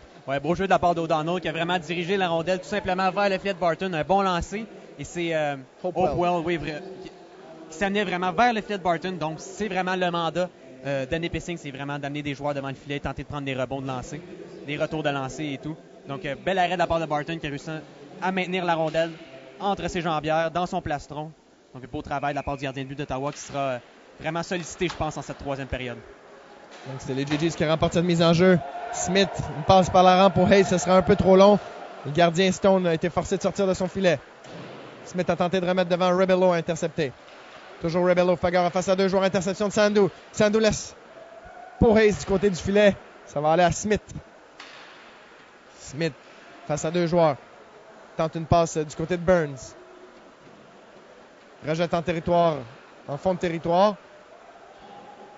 On a tenté une passe du côté de Julien Demers, ça a été intercepté par Nipissing qui rejette l'adversaire chez lui. Burns passe beaucoup trop haute à saisir pour Smith. Ça va aller jusqu'à Moreau. Moreau laisse derrière à Rebello. Rebello passe par la rampe à Gray qui se porte en attaque. Gray face à Burns. Gray applique les freins, laisse derrière lui. C'est Moreau qui va aller prendre ce disque. Tente une passe pour Bailey. Demers a senti le jeu, a réussi à intercepter. Encore une fois, beau jeu de Demers qui a fait avorter ce jeu. Méthode face à Gray. Toujours Mathieu Méthode. C'est Sandu qui a pris cette rondelle. Attention, on était chanceux du côté d'Ottawa. Là, on aurait pu se faire prendre pour avoir trop de joueurs sur la glace. Demers rejette en lob. Dans le territoire de Nipissing, c'est Chan Freeney qui remet pour McKinney. Pour McQuaid, pardon. McQuaid à Happner. Un tir. Ça va dévier sur le défenseur d'Ottawa et ça ira dans le filet protecteur. Et en ce début de troisième période, c'est vraiment brouillon de chaque côté. là. On est incapable de vraiment faire des belles passes sur la palette. Euh, Nipissing a beaucoup de difficultés à entrer dans le territoire d'Ottawa. Et même chose pour Ottawa. Ottawa a beaucoup de difficultés à sortir la rondelle dans son territoire. Donc on est comme embouteillé entre les deux lignes bleues. euh, ce, qui, nous donne du jeu là, assez, euh, assez morose. Tout à fait. Donc c'est Blain à la mise en jeu face à Maonou. Maonou qui avait perdu la mise en jeu mais a réussi à reprendre ce 10. Toujours Maonou. Beau jeu de Blain qui se porte en défense, mais mauvaise passe par contre qui va permettre euh, un tir de Marcoux. Martin n'a pas apprécié que le joueur euh, Maonou se dirige vers lui et lui a fait savoir en lui donnant un petit coup de gant derrière le dos. Mais on n'ira pas plus loin et on va reprendre à la gauche de Barton avec 16-29 à faire en troisième période. C'est un très beau jeu de la part de Luc Blain en territoire défensif qui a réussi à soutirer les rondelles à Watt, si je ne me trompe pas. Et finalement, euh, il a commis une, grosse bévue en faisant une passe à travers la zone qui a abouti sur un joueur, mais heureusement, Barton a effectué un bel arrêt. Donc c'est Forster qui reprend une rondelle sautillante. Forster se met en zone neutre. Forster encaisse un coup d'épaule de la part de Marcoux. Ottawa rejette en lob dans le territoire des Lakers. Par la rampe. Cranbill empêche le disque de quitter le territoire. Forster. À White derrière le filet. White à Blondin. Blondin réussit à se déprendre de Bird. Coupe devant le filet. Blondin. Bel, bel arrêt de la part de Stone sur la séquence alors que Blondin a coupé devant le filet. Il s'est retrouvé seul face à lui. Mais Stone a sorti la jambière. White à Blondin. Tente une passe devant pour Forster. C'est bloqué devant. Et, euh, le jeu va être arrêté alors que deux joueurs d'Ottawa se sont retrouvés dans le filet adverse. Ce qui va provoquer l'arrêt du jeu. Je pense que c'est les deux joueurs d'Ottawa qui sont rentrés en contact eux-mêmes et ils ont déplacé le filet du- euh, justement du gardien de but. Donc, une drôle de séquence de la part d'Ottawa, mais encore une fois, ce trio en fait beaucoup pour Ottawa. Donc, propulse le, le- le jeu dans le territoire offensif, mettre les rondelles derrière les défenseurs, mettre beaucoup de pression, gagne leur bataille le long des rampes. Ça, c'est extrêmement important. Puis je pense que pour un entraîneur comme Dave Léger, c'est ce qu'il demande de ses joueurs. Il doit, être vraiment heureux de la performance de ce trio ce soir qui, en donne beaucoup au Donc, euh, ça a failli porter fruit justement sur la dernière séquence. Blondin s'est retrouvé seul face à Stone. A, profité, euh, a failli profiter d'une belle occasion de marquer. Mais finalement, le pointage va rester 4 à 2. C'est Hopewell face à Jalbert. Hopewell laisse derrière. On bagarre. Hood. Ça reviendra à Hopewell qui perd la rondelle aux prises de Dominique Jalbert par la rampe, il va réussir à dégager jusqu'en territoire central où ça ira jusqu'à Quarry. Derrière Barton. Jalbert reprend. Jalbert prend de la vitesse. S'amène en zone neutre. Applique les freins et décide de revenir dans son territoire. Par la rampe jusqu'à Renault. Renault bagarre face au joueur de Nipissing, c'était Quarry. Ashton tente une passe devant. C'est Stone qui va s'interposer et sauter sur ce disque pour provoquer l'arrêt du jeu. Très belle montée de la part de Scott Ashton qui joue à l'avant ce soir. Une décision assez surprenante de la part de Dave Léger. Moi, j'aurais peut-être pu croire que Pat Burns serait utilisé à l'avant, qui est un joueur peut-être un peu plus euh, un peu plus mobile, mais moins défensif qu'un Scott Ashton. Puis Scott Ashton a eu une très bonne saison l'année dernière pour le Gris Grenat. Je suis surpris de ne pas le voir justement en défense, mais euh, Dave Léger a pris la décision que c'était Pat Burns qui joue en défense ce soir et Ashton à l'avant. Donc, euh, une décision jusqu'à date porte fruit puisque le pointage est de 4-2 pour Ottawa. Donc c'est Bird face à cette rondelle. C'est Bailey qui va la reprendre. Rebello tente de dégager. Burns rejette l'adversaire dans le fond de son territoire et ça va forcer Bird à dégager. Et ça va se retrouver chez les téléspectateurs. Chez les spectateurs, pardon. Alors, il reste 14 minutes 34 à faire à cette euh, troisième période. Donc, Ottawa doit maintenir le rythme. Jusqu'à date, là, ça va bien euh, pour l'équipe de Dave Léger.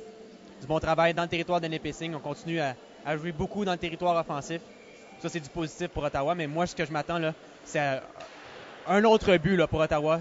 J'aimerais que ce soit le trio de Sandou, justement, qui produise ce but-là. Puisqu'on ne l'a pas vraiment vu ce soir, là, euh, le, trio de Sandou, Smith et Hayes. Ce serait effectivement une bonne chose pour la troupe de Dave Léger. Attention, Rebello tente un tir. Ça a été bloqué par Burns. Ça va permettre à Smith de relancer l'attaque. Tente une passe du côté de Hayes. C'est raté et ça permettra aux Lakers de reprendre. Dans le territoire central, maintenant, c'est Burns. Par la rampe jusqu'à Stone. Et ce sera un dégagement refusé. Et il y aura mise en jeu en territoire d'Ottawa. Donc toujours 4 à 2. Donc, euh, comme on l'a dit euh, plusieurs fois au courant de ce match, c'est vraiment décousu. On joue au, euh, au ping-pong, je me répète pour une deuxième fois. Ça se renvoie la rondelle de chaque côté. On joue beaucoup en zone centrale. Donc du jeu un peu amorphe dans cette troisième période. On avait le droit du jeu quand même excitant en début de première période, mais là, euh, ça s'est vraiment calmé. Bel arrêt sur la séquence de Barton. Mono qui tente de viser la partie supérieure. Il rate la cible. Ça permettra à Méthode de dégager le territoire. On a passé proche sur cette dernière séquence. Nipissing a failli inscrire un troisième but. Watt reprend. Projette euh, du côté de son défenseur Gray par la rampe à Maunu. Ireland qui bataille face à Cianfrini qui se porte à l'attaque. Marcou attend que son coéquipier quitte le territoire adverse. Toujours Marcou tente de se faufiler à travers deux joueurs. Ça ne sera pas réussi. Gray lui réussit à se faufiler. Gray seul face à Barton. Bel arrêt de la part de Barton. Ouf qu'on a été brouillon sur la dernière séquence du côté d'Ottawa. On a permis à Gray de se faufiler à travers trois joueurs. Les trois, on aurait dit qu'ils étaient euh, immobilisés dans du marbre. Ils n'ont pas bougé et on laissé Gray filer seul face à Barton qui a réalisé l'arrêt. Ouais, avant cette chose, on faisait du très bon travail à la ligne bleue pour empêcher Nipissing de rentrer, mais c'est Gray qui a utilisé sa bonne vitesse pour pénétrer à travers euh, la, boîte défensive d'Ottawa. Il a pris un bon tir sur Aaron Barton qui a fermé la porte. Donc Aaron Barton, jusqu'à maintenant, en début de troisième période, fait du très bon travail pour garder son équipe euh, avec deux buts d'avance. Donc euh, Barton répond, répond à l'appel jusqu'à maintenant. là.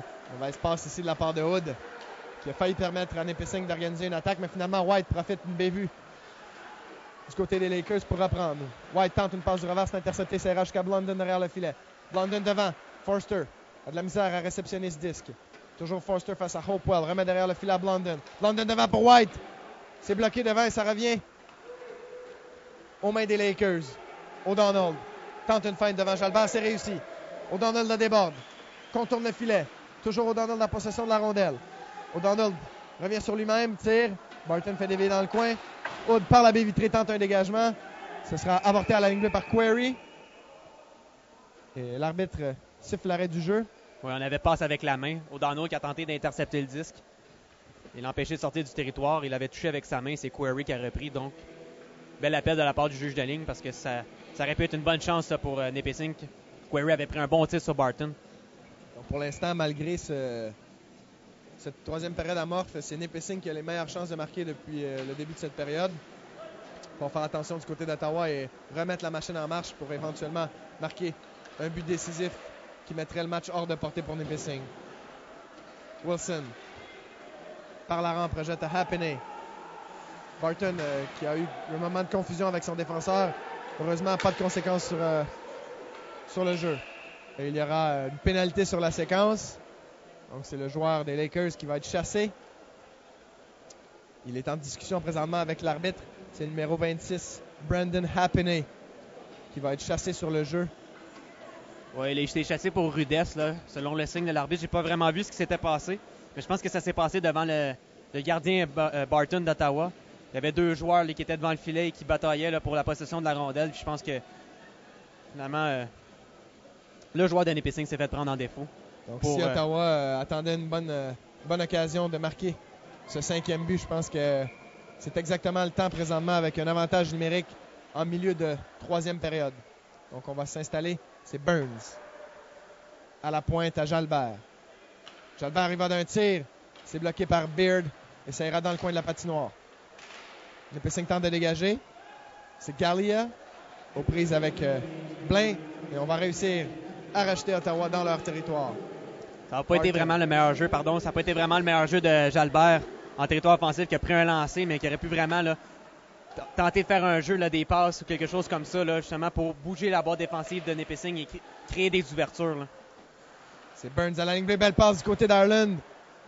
Dommage pour ce dernier qui n'a pas réussi à maîtriser ce disque.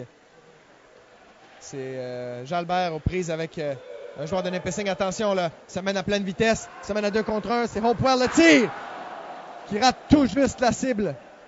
En haut à gauche, il visait la lucarne. Et ça a passé très près pour les Lakers qui ont failli marquer en désavantage numérique.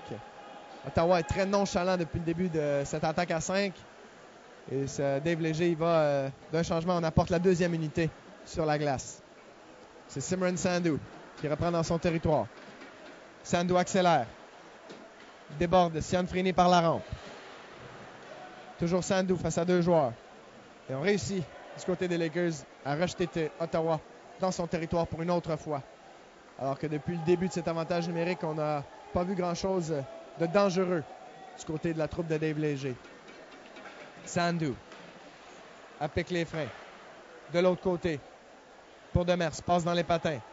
Demers porte à l'attaque face à Gray. Et Nipissing, il va d'un autre dégagement jusqu'à Aaron Barton. Barton, il va d'une passe pour Cranbill. Cranbill, mauvais jeu de sa part. La rondelle lui a été soutirée.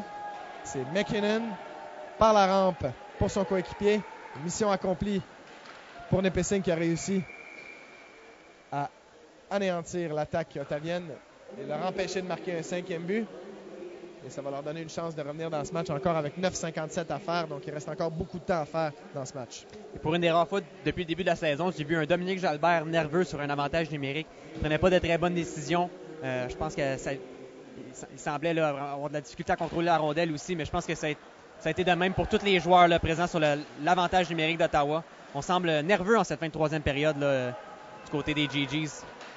Je pense qu'un but de plus, euh, ça remonterait la confiance des joueurs locaux et ça leur permettrait de terminer le match en beauté. Donc une belle passe ici du défenseur, ça ira jusqu'à Watt face à Jalbert. Watt remet à Marcou à main derrière.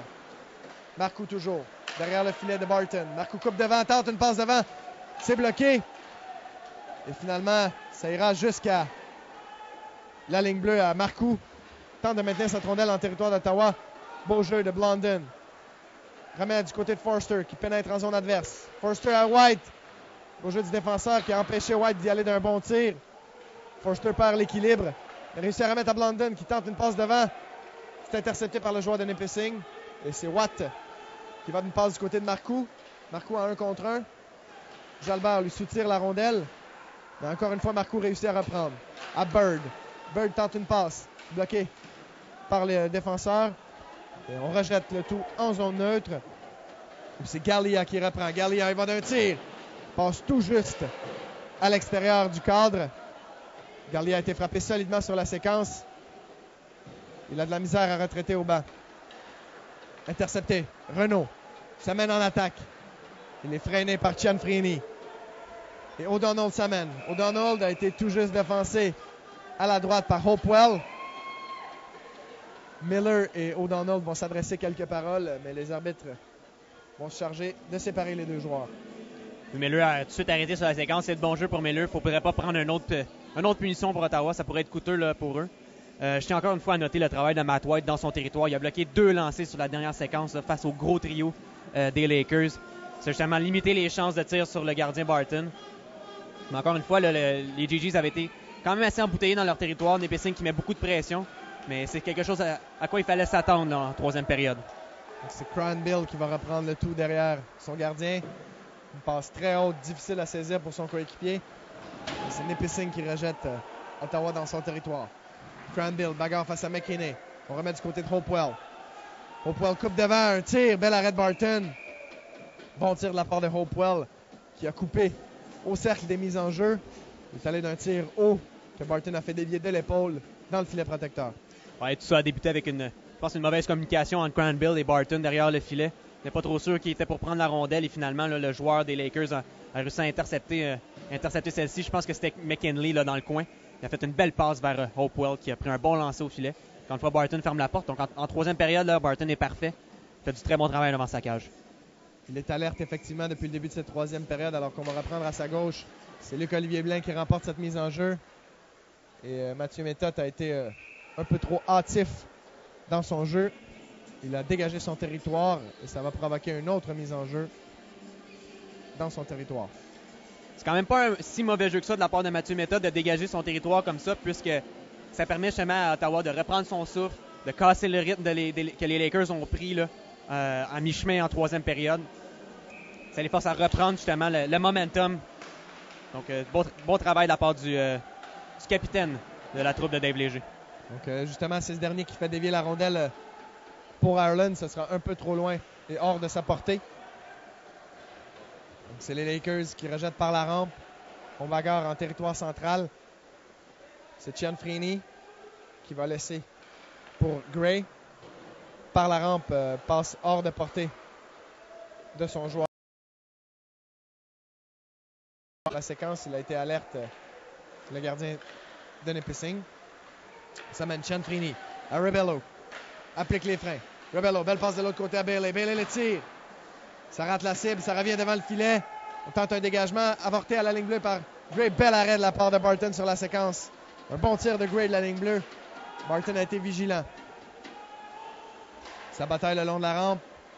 Barton laisse un retour devant. Julien Demers dégage, intercepté à la ligne bleue. Un tir qui dévie deux fois. Blain empêche cette rondelle de se rendre jusqu'à son gardien et rejette le tout en territoire central. Quarry par la rampe. Ça va du côté de Hayes qui laisse derrière Burns à Demers. Demers par la baie vitrée.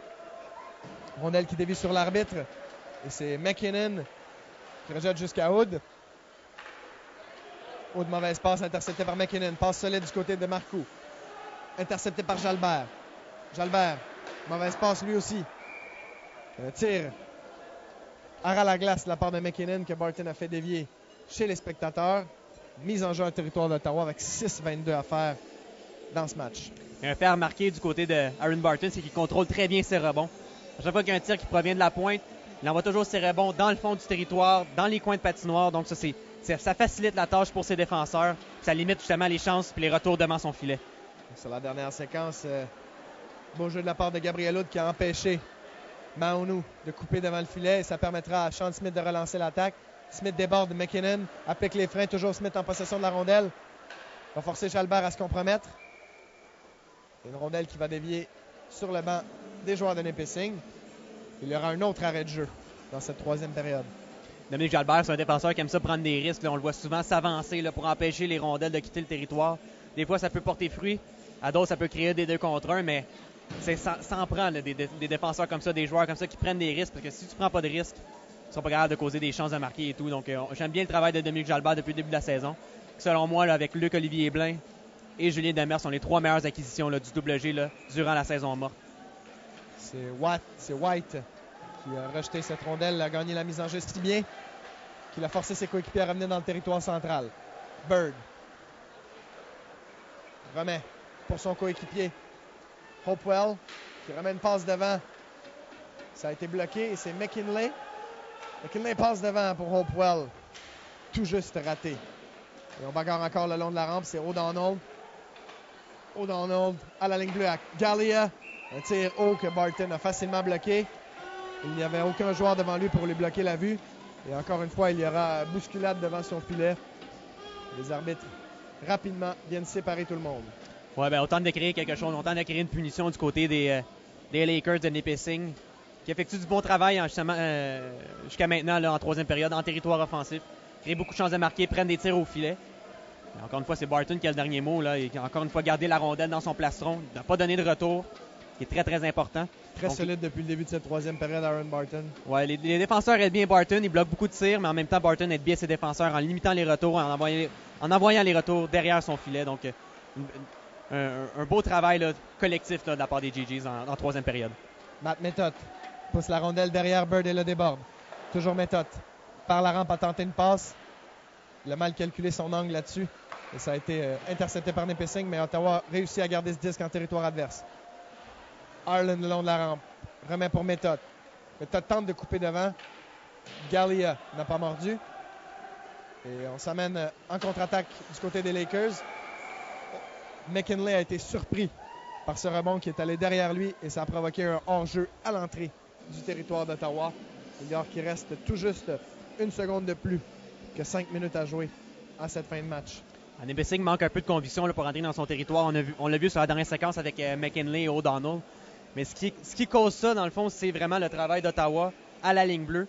Ils mettent vraiment les cinq joueurs qui attendent les, euh, joueurs d'Anépissing à la ligne bleue. On veut qu'ils dégagent la rondelle dans le fond de territoire pour qu'on puisse ensuite reprendre le contrôle de la rondelle.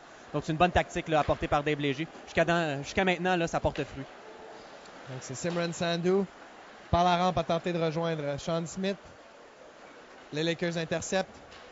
Et du côté sur le flanc gauche, c'est White. C'est Watt à genoux. Il a tenté une passe pour Maonou et sur la séquence, Julien Demers va être chassé. Deux minutes pour coup de bâton. On a vu Maonou euh, perdre son bâton sur, euh, sur la séquence. Donc Julien Demers laissé, il se dirige immédiatement vers le banc. Et avec 4,37 à faire, Nipissing va profiter d'un avantage numérique. Ouais, Demers qui a tout simplement tenté euh, d'empêcher Maonou de reprendre le contrôle du disque. Une belle passe de la part de Watt dans l'enclave. Et finalement, euh, Demers est allé un, un peu trop fort sur le bâton de Maonou. Il sera chassé pour deux minutes. Donc, une, punition qui arrive euh, dans un moment assez euh, crucial de la partie pour Ottawa. Il va falloir qu'ils tuent cette, euh, cette pénalité s'ils veulent espérer justement conserver leur avance de, de deux buts. Encore une fois, euh, Dave Léger décide de faire de confiance au duo de Hayes et White qui connaissent un fort match depuis le début. Un tir de White, de Watt, c'est bloqué par Cranbill. Cranbill face à Maonou. On respecte du côté d'Ottawa. Alors qu'il aurait pu avoir pénalité sur la séquence. Chanfrini pour Bird. Bird tente une passe transversale. C'est intercepté par Hayes. Beau travail. Il rejette Nipissing dans son territoire et vont compléter des changements. Quel travail de la part de Carl Hales qui est venu vraiment couper les lignes de passe, empêcher vraiment Nipissing de traverser le carré des GGs. Donc, beau travail de la part de Carl Hayes, le joueur de première année. Donc, on, on a beaucoup de recrues là, qui euh, performent bien du côté d'Ottawa. Dave Léger est en train de pointer euh, à l'arbitre que sur la séquence, il aurait peut-être pu avoir pénalité. Mais on va reprendre le tout à l'entrée de la surface ottavienne. C'est les GGs qui remportent cette mise en jeu, mais c'est McKinley qui s'amène. Tente de déborder. Il y aura une autre pénalité sur la séquence. Attention. O'Donnell remet à la ligne bleue. À McKinnon.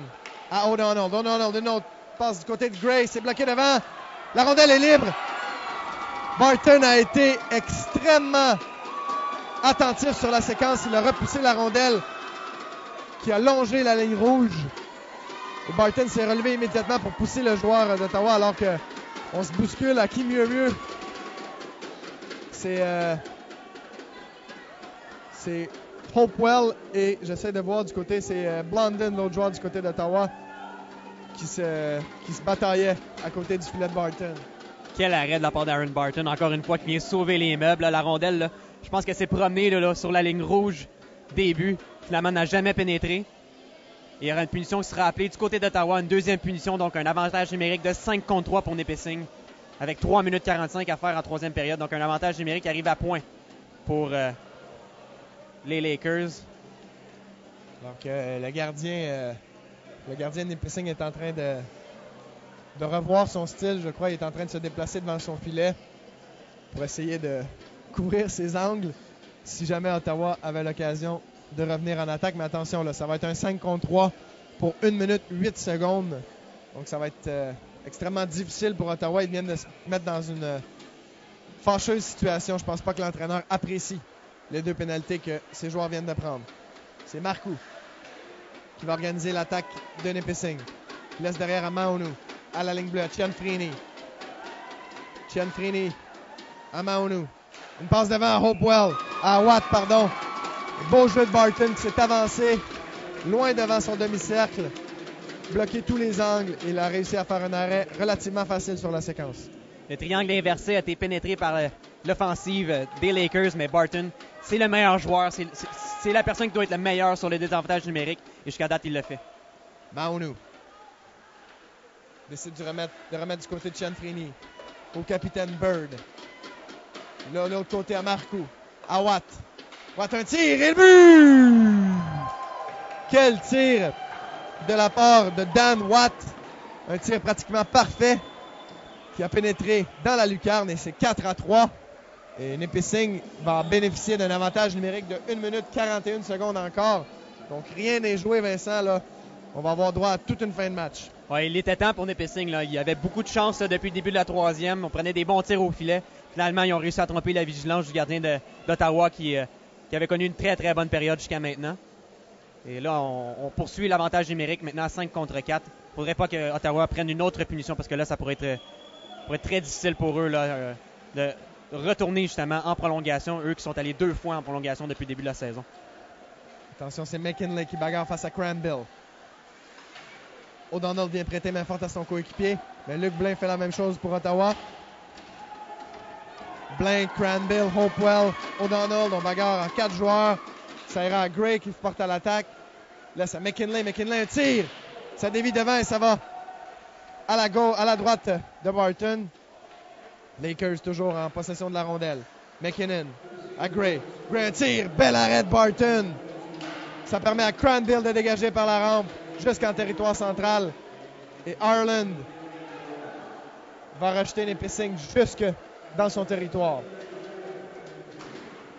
On rejette la rondelle dans le fond de la zone d'Ottawa. White qui complète le dégagement alors qu'il reste 43 secondes à faire à cette pénalité et 2,27 à faire en troisième période. Hayes et White qui sont de retour sur la glace du côté des GGs. O'Donnell laisse derrière à Marcou. Marcou toujours. Marcou coupe devant. Un tir du but! Andrew Marcou vient créer l'égalité. Et du même coup, Nipissing complète la remontée. Eux qui perdaient 4-0 dans ce match. C'est 4 à 4. 2 minutes 11 à faire. Donc Vincent, encore et toujours les pénalités. Encore une fois, c'est vraiment désolant. Là. Vraiment la foule ici au complexe sportif euh, d'Ottawa n'en revient pas. Encore une fois, les punitions qui viennent couler les GGs. C'est vraiment désolant parce qu'on a l'impression de toujours, se répéter à tous les matchs. On dit les, les GGs vont limiter les punitions. C'est ce qu'ils avaient fait depuis le début du match. Mais là, deux mauvaises punitions en fin de troisième période viennent donner euh, deux chances à Nipissing d'égaliser la marque et c'est ce qu'ils ont fait. Donc, nous sommes de retour à la case départ et euh, avec deux minutes à faire, on, se dirige vers un troisième voyage en prolongation pour les GGs.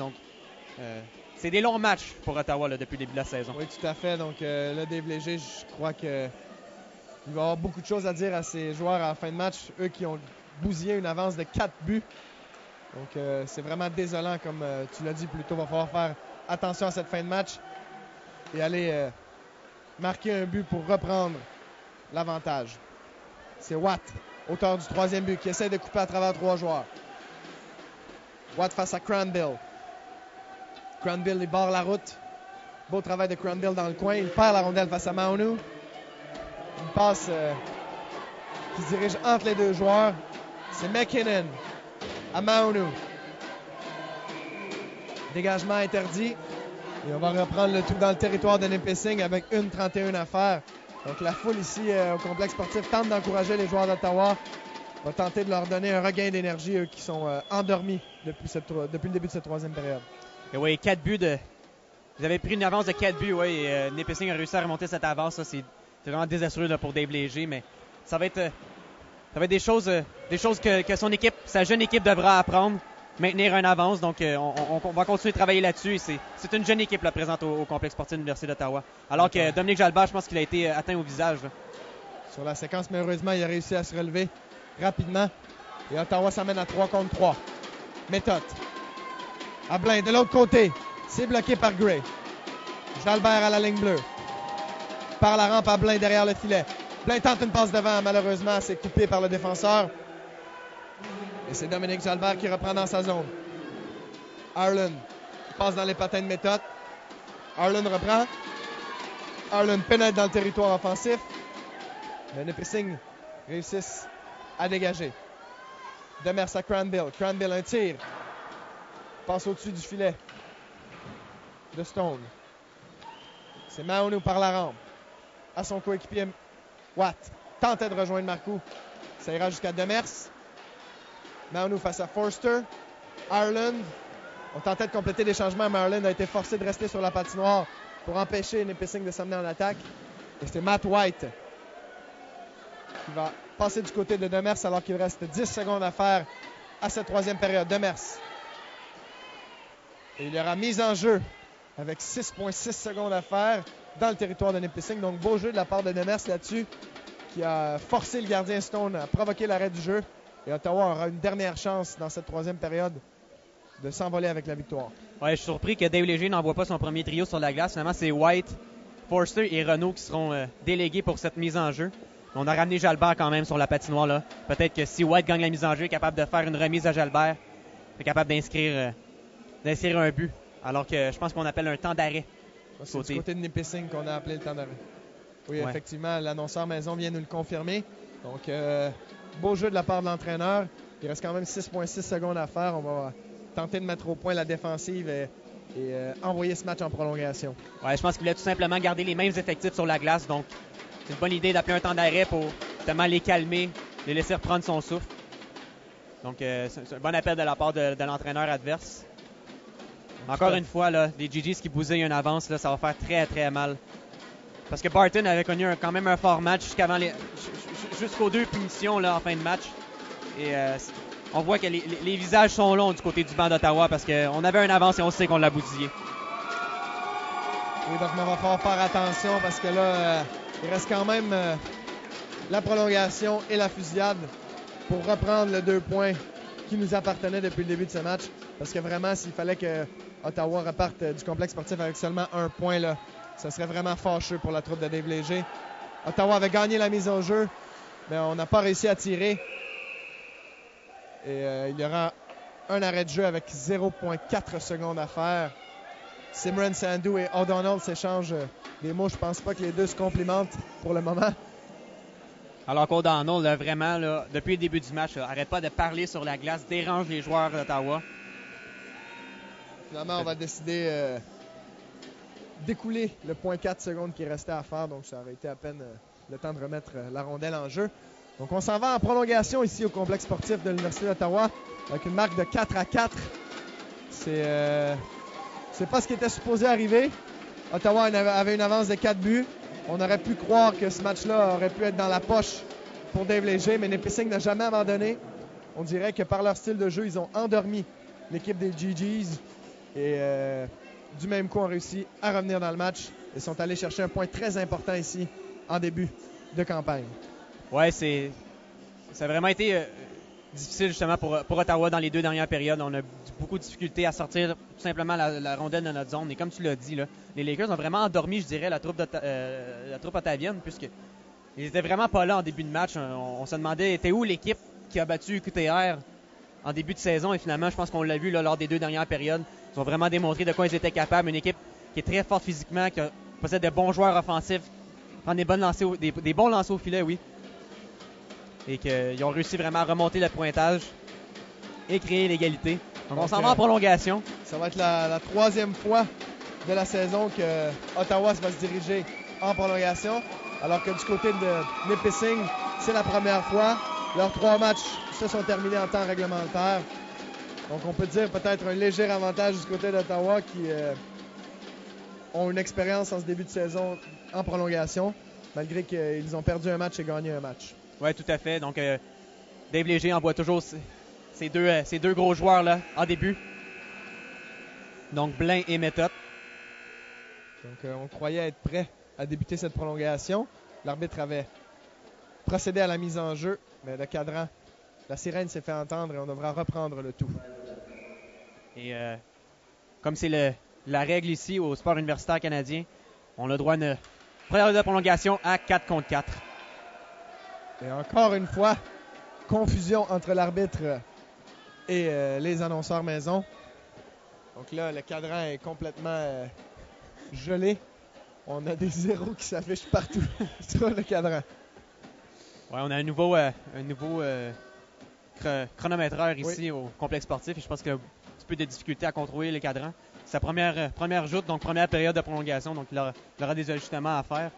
ça va permettre euh, aux joueurs des deux équipes de profiter d'un temps de répit, pouvoir reprendre leur force et aller en pleine vitesse euh, dans cette prolongation.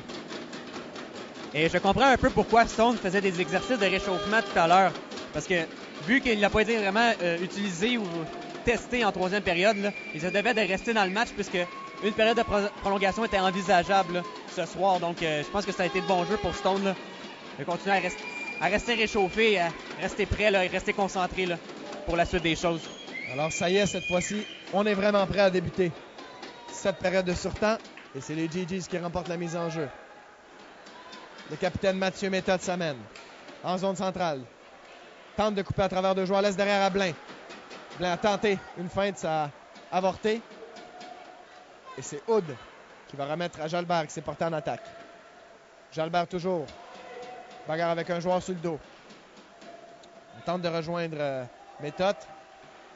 Une rondelle sautillante qui ira dans les patins de Maonu qui rejette pour Marcoux. Intercepté par Jalbert à la ligne bleue. Blain a tenté de s'échapper. Le beau jeu de la part de Marcoux qui l'en a empêché. C'est Bird qui reprend dans son territoire. Laisse pour son coéquipier O'Donnell. O'Donnell réussit à éviter la mise en échec de Jalbert. Une passe, plutôt un tir, ça a été bloqué par Ireland qui rejette à Jalbert. Beau jeu de Jalbert à Sandou. Sandou. Un tir bloqué. Wow, deux bons arrêts sur la séquence du gardien Stone qui a volé littéralement Simran Sandou à deux occasions. Et c'est Ottawa qui est rejeté dans son territoire par Nipissing. C'est Simran Sandou. Va relancer l'attaque encore lui. Simran Sandou. Belle fin de Sandou. Tente de couper. Derrière le défenseur. Le tir de Ireland violent. Ça passe tout juste à la droite du gardien Billy Stone. Donc sur la dernière séquence, Stone a été extrêmement alerte. Il a sorti la jambière et a volé un but certain à Simran Sandhu. Donc les Lakers dans leur territoire. Rebello. Rebello a du mal à contrôler ce disque. Il y va d'une passe de l'autre côté pour McKinnon. McKinnon se porte à l'attaque face à trois joueurs. McKinnon toujours applique une mise en échec à Cranbill. Tente de rejoindre White. Ce sera intercepté par Matt White. White prend de la vitesse, s'amène en territoire adverse. White applique les freins, cherche une option. Rejette pour son défenseur Jalbert. Jalbert, belle feinte. À Burns, à Jalbert. Le tir, c'est bloqué devant. Et Ireland ne réussit pas. Smith, pardon, ne réussit pas à pousser ce disque derrière Stone et le filet a été déplacé. Donc il y aura mise en jeu en territoire de Nipissing avec 2,45 à faire en période de prolongation. Jusqu'à maintenant, c'est vraiment Ottawa qui a les meilleures chances euh, en cette période de prolongation. On a vu Sandou là, il y a quelques instants qui a pris un, bon tir du revers sur gardien Stone qui a été euh, très solide. Mais Sandou, là, c'est le, genre de situation qu'il aime, puisqu'à 4 contre 4, il peut vraiment utiliser sa vitesse et son talent pour créer des choses. Donc, c'est les Lakers dans leur territoire. Gray derrière son gardien. Toujours lui en possession du disque. Il remet dans le centre à Marcou. Marcou, un tir bloqué par le patin de Jalbert. Ça ira jusqu'à Cianfrini. Cianfrini à Maunu. Maunu tente une passe rapide pour Marcou. C'est un peu trop loin. Barton sort de son filet et rejette à une main jusqu'à Dominique Jalbert. Jalbert relance l'attaque des siens. Il y va d'une passe pour Luc-Olivier Blain. Qui amène la rondelle en territoire offensif. Blain a croisé avec Jalbert et lui remet la rondelle. On bagarre le long de la rampe. Cianfrini face à Jalbert. Toujours Jalbert. Il contourne un joueur. Il s'amène en possession de la rondelle. A tenté une passe devant. Ça a été bloqué par le patin de, de Hopewell. Une passe du revers de Blain dans le coin de la patinoire pour Mathieu Méthode. On ne réussit pas vraiment à s'installer du côté d'Ottawa. C'est Demers qui va tenter une passe de l'autre côté. Ça a dévié sur le patin de Hopewell. Et c'est Cranbill qui s'est porté à l'attaque. Cranbill à l'arrière droite du filet. On remet derrière Julien Demers un tir. Bel arrêt de Stone. S'est avancé loin devant son demi-cercle. est allé d'un bel arrêt de la mitaine face à Julien Demers qui croyait bien avoir marqué sur la séquence. Donc c'est O'Donnell qui rejette derrière Barton. Et Demers va attendre la venue de ses coéquipiers. Donc Sandou et euh, Cranbill sont rentrés en collision sur la séquence. Heureusement pour Ottawa, pas de dommages. Ireland, belle feinte. Il pousse la rondelle un peu trop loin. Il va appliquer une mise en échec à Quarry alors qu'il reste une minute à faire dans cette période de prolongation. Le long de la rampe, Nipissing. On rejoint McKinnon qui se porte à l'attaque. McKinnon a tenté de couper. Mais Jalbert ne s'est pas compromis. Et ça sera Sandou qui va racheter dans le fond de territoire adverse. Jalbert, bien en prise avec un défenseur. Et McKinnon va réussir à dégager du revers jusque Aaron Barton. Et c'est Simran Sandhu qui va tenter d'organiser une des dernières attaques de ce match. C'est intercepté par Cianfrini. Cianfrini à Bird de l'autre côté. Bird à Cianfrini derrière. 15 secondes à faire. Cianfrini à Maunu. Maunu a levé les yeux. Cette rondelle est allée derrière lui. Bon jeu de Bird qui a évité la mise en échec d'Arlen. A tenté une passe derrière. C'est Matt White qui a fait un repli défensif et a permis à Jalbert de reprendre ce disque. Jalbert a une seconde le tir. Et on ira en fusillade pour la deuxième fois cette saison, les GGs vont tenter de remporter le match en fusillade. Donc on se rappelle que vendredi dernier, ils avaient perdu face à Queens qui avait marqué deux buts. Et Ottawa n'avait pas réussi à déjouer le gardien. Voilà, alors euh, il serait intéressant de voir quels joueurs seront appelés. Comme on fait à l'habitude, on peut toujours faire nos prédictions euh, pour savoir qui Dave Léger enverra dans la mêlée. Moi, je serais pas surpris d'avoir un gars comme Matt White ce soir qui connaît un fort match. Souvent, Donc, les euh, entraîneurs dans ce genre de situation vont, vont y aller d'une récompense euh, pour des joueurs qui ont été euh, très forts durant le match. Donc, effectivement, Matt White a connu un fort match. Ce ne serait pas surprenant de le voir. Mais à l'habitude, comme Dave Léger aime le faire, il envoie son capitaine, Mathieu Méthode, Mathieu Méthode. cette séance de tir au but. On verra probablement aussi Lu- Luc Blain, Simran Sandhu, toujours des joueurs qui sont dangereux offensivement. Du côté de Nipissing, je serais pas surpris de voir Maunu, Maonu, Marcou Marco aussi. et Watt. euh, ça Watt serait aussi a connu un bon match. joueurs euh, qui seraient susceptibles d'être envoyés. Peut-être même le défenseur Gray qui a quand même montré quelques, quelques talents en offensive. Là. Donc, ce serait intéressant de voir ça. Attention, c'est Mathieu Méthode qui s'amène face à Billy. Le tir, ça rate la cible à la droite du gardien Billy Stone. Méthode avait, euh, fait une belle feinte. Stone lui avait laissé une ouverture dans le coin inférieur droit, mais Méthode a raté la cible. Et Nipissing va tenter de prendre l'avantage. Donc, comme on l'avait dit, c'est Maunu qui va débuter pour les Lakers. Maunu face à Barton. Maunu s'amène, un tir dans l'eau du filet. Et Barton a fait dévier. Gars, bon jeu de la part de Barton. Il n'a pas paniqué. Il a bien suivi cette rondelle. Et il a effectué un arrêt assez facile. Donc, on envoie Luc Blain dans la mêlée. Pas surprenant. Blain prend de la vitesse. Il s'amène. Face à. Il tire le but! Luc Olivier Blain qui réussit à déjouer du Ravière. Billy Stone et c'est Ottawa qui prend les devants dans cette séance de fusillade.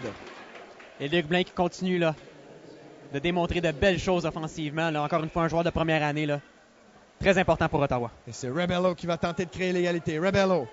Rebello le tire. Bel arrêt d'Aaron Barton. Barton ne s'est jamais compromis. Il a laissé Rebello faire le premier geste. Il a sorti la jambière au bon moment. Et maintenant, ça va être Simran Sandhu qui va tenter de donner la victoire à ses coéquipiers. Et on avait vu là, là, une semaine, là, Barton avait donné deux buts de ce côté. Maintenant, finalement, il réussit à faire l'arrêt face à Rebello. Et c'est Sandhu qui a l'habitude de prendre beaucoup de vitesse. Sandhu, un feinte de tir encore. Sandhu le but! Simran Sandhu! Et Ottawa l'emporte par la marque de 5 à 4. Donc Vincent Simran Sandhu, qui encore une fois, il va de sa fameuse feinte de lancer frappé. Il contourne le gardien et Et- réussit à marquer le but vainqueur. Et quelle feinte! Billy Stone a été complètement mystifié par cette feinte de Simon Sandhu qui vient procurer la victoire à son équipe. Une victoire qui aurait été méritée selon moi puisque son équipe avait réussi à prendre les vents rapidement dans le match, connaissait un bon début de match. Euh, donc l'en- l'entraîneur Dave Léger là, devrait être content de son équipe, content de la victoire, même si l'équipe a bousillé une avance de 4 buts. Mais euh, finalement, les GGs donnent une victoire. Oui, exactement. C'est les GGs donnent une victoire à leurs partisans.